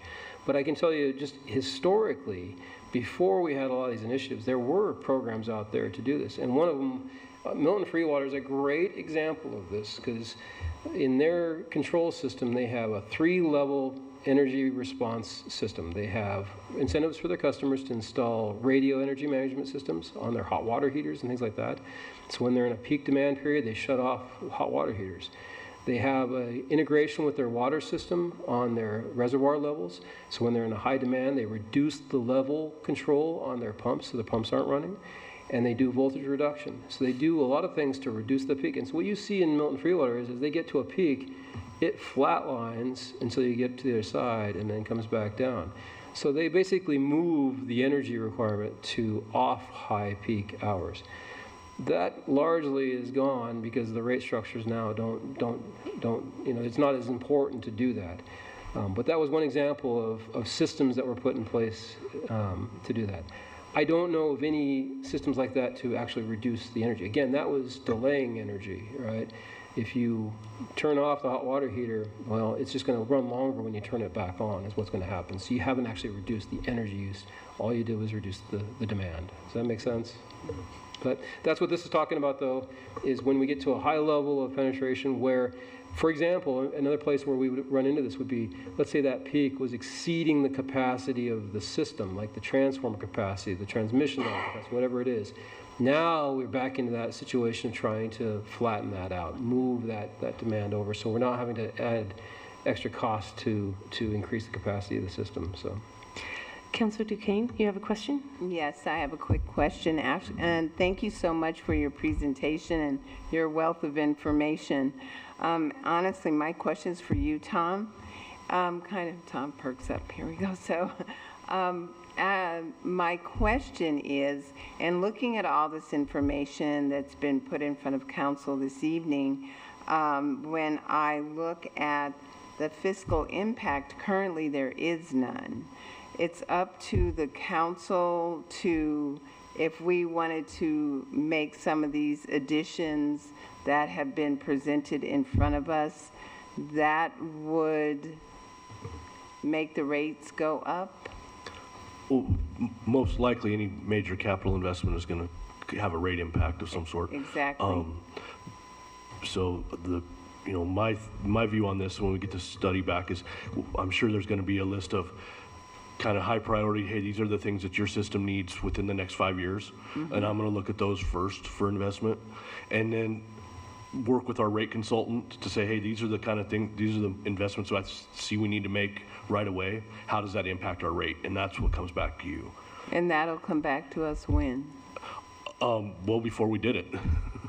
I mean, bef- uh, you know, it, it's, it's in the future when we, you know, once we have that kind of list and, and can get some budgetary numbers of what those expenditures look like, you know, and So this is just a, an overview of um, kind of a, a preview of a more detailed report that will be coming out. So that report will list um, where council will need to have a discussion about adding projects potentially in the future to, you know, a CIP plan, um, getting cost estimates around that um, to help lay out the future investment that the, the electric system will need. Well, thank you. And then quickly, Tom, I wanted to thank you for keeping us flat since 2021 with no hikes in our electric. been working on it. Thank you. So if we can go ahead and get through the last couple slides and see if we can wrap this up this evening? Absolutely, absolutely. So this one is just talking about spe- specifically different types of chargers, their demand, and, and the impact on, on your current uh, system. That will be included in the report. Last one is just microgrid. Um, you know, you have one going in. We're, going to call it a microgrid. I think microgrid might be a little uh, excessive on this one. You don't quite have enough to totally um, island this system if you needed to. It can't run itself enough power to, to run a portion of it. Um, but, you know, great opportunity to get grant money. And I, I'd say these are, are definitely, um, you know, in, in terms of your question, the, go after every grant you can get and install every one of these you can do. You got roofs, put, you know, utilize your roofs, absolutely, um, wherever you can. Um, and, and the impacts of that, I think for the most part, at least for the, the foreseeable future, we can deal with those in the electric department in terms of settings, regulations, things of that nature. When we start getting into the big ones, you're starting to talk bigger impacts, and certainly we start talking net zero, you know, much bigger impacts. But these ones are, are ready, and they're happening, and it's, it's great to see. Um, I think that's really it, unless there's any questions. I, I want to get back to your point, which is absolutely our report will prioritize our recommendations. We're looking for, first and foremost, safety of your system. And I hate to say it, there's a competing interest out there, as you know, um, the fire mitigation plan. You know, you are in a in a hotbed in some areas, and that's a big deal right now. And so there'll be priorities for fire mitigation and improvements you need to do for that, based on that study. Um, next thing is reliability. You know, we we we are very blessed in this country to have such reliable utility services. We also know it's a necessary thing. You can't turn off people's power for long periods of time. So we want to make sure the grid is reliable, your distribution system is reliable. And then above that, we'll look at opportunities, if we can, for meeting some of your other objectives, such as, as your, uh, your net zero objective. Councillor Kaplan. Yeah, thank you. Could you just back up one slide that we just Absolutely. lost over super quickly? The last, the last set of bullets, the city may want to consider additional efforts on public education and dynamic rate structure. Could you walk us through those two, two items for a sec? Yeah, um, so, you know, public education was exactly what we were talking about, efficiency, you know, using the public as, part- you know, the chargers. You wouldn't have to necessarily have demand responsive chargers if the public was, it's hard to get them out of habits, but if they know everybody comes home at 5 PM and plugs in their, their electric vehicle, there's going to be an impact on the grid. So there are things that the public can do to help support that, to, to move those peaks around. Um, in terms of, you know, the, the question of, of dynamic rate structure, that is mostly around, that was a big push, again, a few years ago when we were really looking at the difference between high load hours and low load hours, and there was going to be a much finer resolution on that. So your rate structure was based on the time of use, high load hours in the daytime, low load hours in the evening, because generation in the evening was cheaper than in the, in the daytime when we're in the peaks, when the generation is very high. The way the, the, the transmission providers work is they have baseline generation, which is very low cost. And as demand exceeds that, they go to the next level, and then they go to the peakers. And the peakers are going to be your gas turbine plants, things like that. They run one hour a day and make just as much money, if not more money, than the power plant that ran 24 hours a day. Because that one hour of power is so expensive because of that peak. And so that cost is passed on to the ratepayers to low load, high load hours. And so there was a real big push for um, doing a dynamic rate structure to incentivize people to run their laundry at night and not during the peak hours, to run their electric demands in off high load hours. If you knew if I run a load of laundry right now or if I cook my dinner right now, it'll cost me three times as much as if I wait an hour. You'll wait an hour, right? That's So- the idea. So, yeah, I understand what it is, um, but you put it in there as something the city may want to consider additional efforts on, and now you're saying, well, it was something a few years ago and not so much. Is it something that we should be considering additional efforts on, or is it not something that we should I wouldn't say it's not something to consider. I'd say it's not as fruitful as it was um, just a few years ago. Now, I, it just depends on where this portfolio goes. It depends on what the ability of the transmission providers to continue to provide. I mean, they've changed their rate structures a lot. Well, I, I would ask, Tom will know better than anybody else. How much has BPA changed their rate structure and the tier programs and things like that over the last 10 years, would you say? They, their, their calculations have changed considerably, especially around demand. And now demand is a moving charge. It, the demand charge changes every month at this point. So, you know, when they've got lots of water, you know, springtime demand is five dollars a kW or a megawatt or something like that. And then, you know, later in the uh, fall time when the water, when there's no water, water really, our, our demand charges go up to ten dollars or eleven dollars. So it, it really is kind of a tough one to chase. And it, for, to be impactful in a small system as ours, the last time we looked at it through rate design, the c- costs in, the investment in the metering stru- infrastructure and stuff to do a time of use rate, we couldn't ever ROI it with our demands. That, that's just the way it looked on paper. And let me say, let, let, we, I'll put this as a note for ourselves to better address that in the report under today's conditions, but my, my uh, warning is more of, we used to do this thing where we would look at your system and look for 0.95 power factor. Anytime you were exceeding 0.95 power factor, let's look at ways to provide power factor capacitors to get above 0.95 because you were getting a ratchet charge, you were getting a, a demand charge from that, a, a VAR charge. And then that changed to 0.97, got even more restrictive, more and more more. And now with the new structure, all those things that we were doing aren't quite as applicable as they used to be. It's not saying that it went away, it's just saying we had spent a lot of time and effort to, to address that structure and then it changed. So if we're going to look at this, we should look at not only what it is now, but try to forecast where it's going to be as it grows. So if you're going to invest in it, you know, you want to make sure that investment is going to return over a longer period than, you know, BPA's change in, in rate structures. Does that make sense? Yes, it does. Thank you. Councillor Hansen. Thanks, Mayor. Um, two ending thoughts from me. Uh, Pacific Power raised their rates 11% last year and 15% this year. Yes, thank you, City of Ashland, for not raising our electric rates the last three years. Are we going to have to play catch up? Is this is this where we're heading though, with with eight to 10% inflation this last year for Oregonians? Uh, looking at looking at the numbers, no, we we've made some good moves, um, especially with the BPA contract negotiations I did last year. That got us all the the money back on our bills. Has Right. really saved us. So where where we go from here is after this study's done and we kind of look at some of the capital spending. That's when we'll bring. Do- I don't remember if you were here when uh, Dawn Lund from Utility Financial Solutions presented. We'll bring Dawn back to uh, look at that and, and integrate it into our current rates and what that looks like. But uh, 10% no, 4% maybe, but probably a year or so. And it'll it'll depend on that capital list. Uh, yeah, how aggressive we want to get on the capital spend. Okay. Yeah. Great. And and I would be remiss if I didn't say another part of this. Um, our curiosity is um, is just natural disaster prevention. Being that we own our own utility and, and at least one of our substations, correct me if I'm wrong, is at the end of the grid, the, the Mountain Avenue. What would happen if those if those feeders were just get, you know, burned up and or or severed in an earthquake?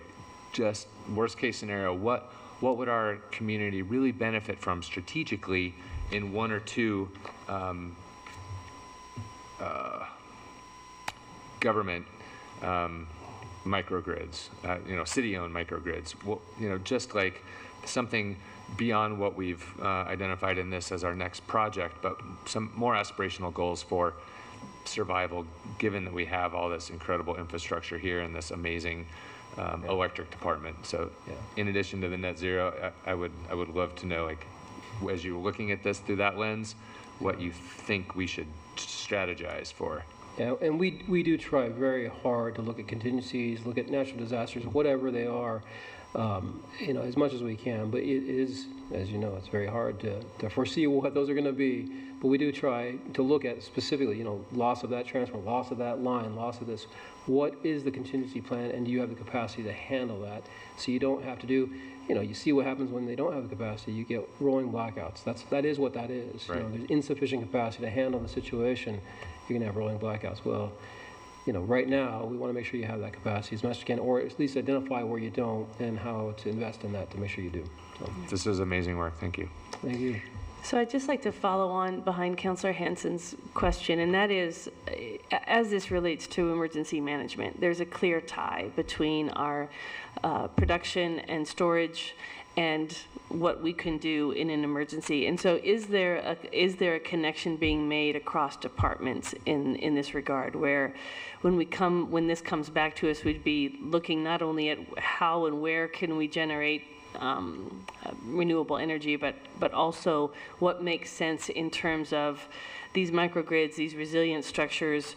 Should we be looking at our wastewater treatment facility and, or, or water treatment facility or wherever and, and ratcheting up the production around some of those critical utility systems? Is that, will we, will that be part of the conversation when this comes back to us? Not so much. They, they have their own um, criteria. Phil. You'll, you'll notice your, your water treatment facilities, your wastewater treatment facilities have backup generators specifically for that. They have to have that. Um, and so your, you know, well pumps, things like that, almost always, your lift stations, I mean, the last thing you want is a lift station to, to overflow. They'll all have backup generation. Now, Granted, right now, it's going to be a diesel or a gas-fired or something of those, of that nature. Is the opportunity to transfer that to a battery storage potentially, but right now, I can tell you, you know, I'm going through the grant process for backup generators for a utility in Springfield, and they are diesel generators. So the grants that are available for them right now aren't, aren't battery storage, it's, it's diesel generators right now. Um, Maybe in the future, we'll find, you know, better opportunities for doing that with a battery storage and maybe a distributed generation type facility, but uh, right now it is still diesel. Because those are absolutely critical infrastructure. You gotta have water, you gotta have wastewater, and you certainly gotta have lift stations. You can't have those things overflowing, so, yeah. So Mayor, to speak to your, to your point, um, staff is constantly, you know, having tabletops about emergency disaster. And I think um, updating our emergency operations plan, that's a good chance to further explore where we may have some weak points that we need to shore up. But that is a, a separate study potentially. Great. So I think we are good for the evening. Yes? Thank you so much, Mr. Stoddard, you and your team for coming and helping us understand. Uh, I know that this has been a long time coming that we've been looking to really dig into this conversation. So thank you so much, and thank you, Tom. Thank you. Uh, and uh, with that, I will adjourn the meeting. Meeting adjourned. Thank you. Thank you.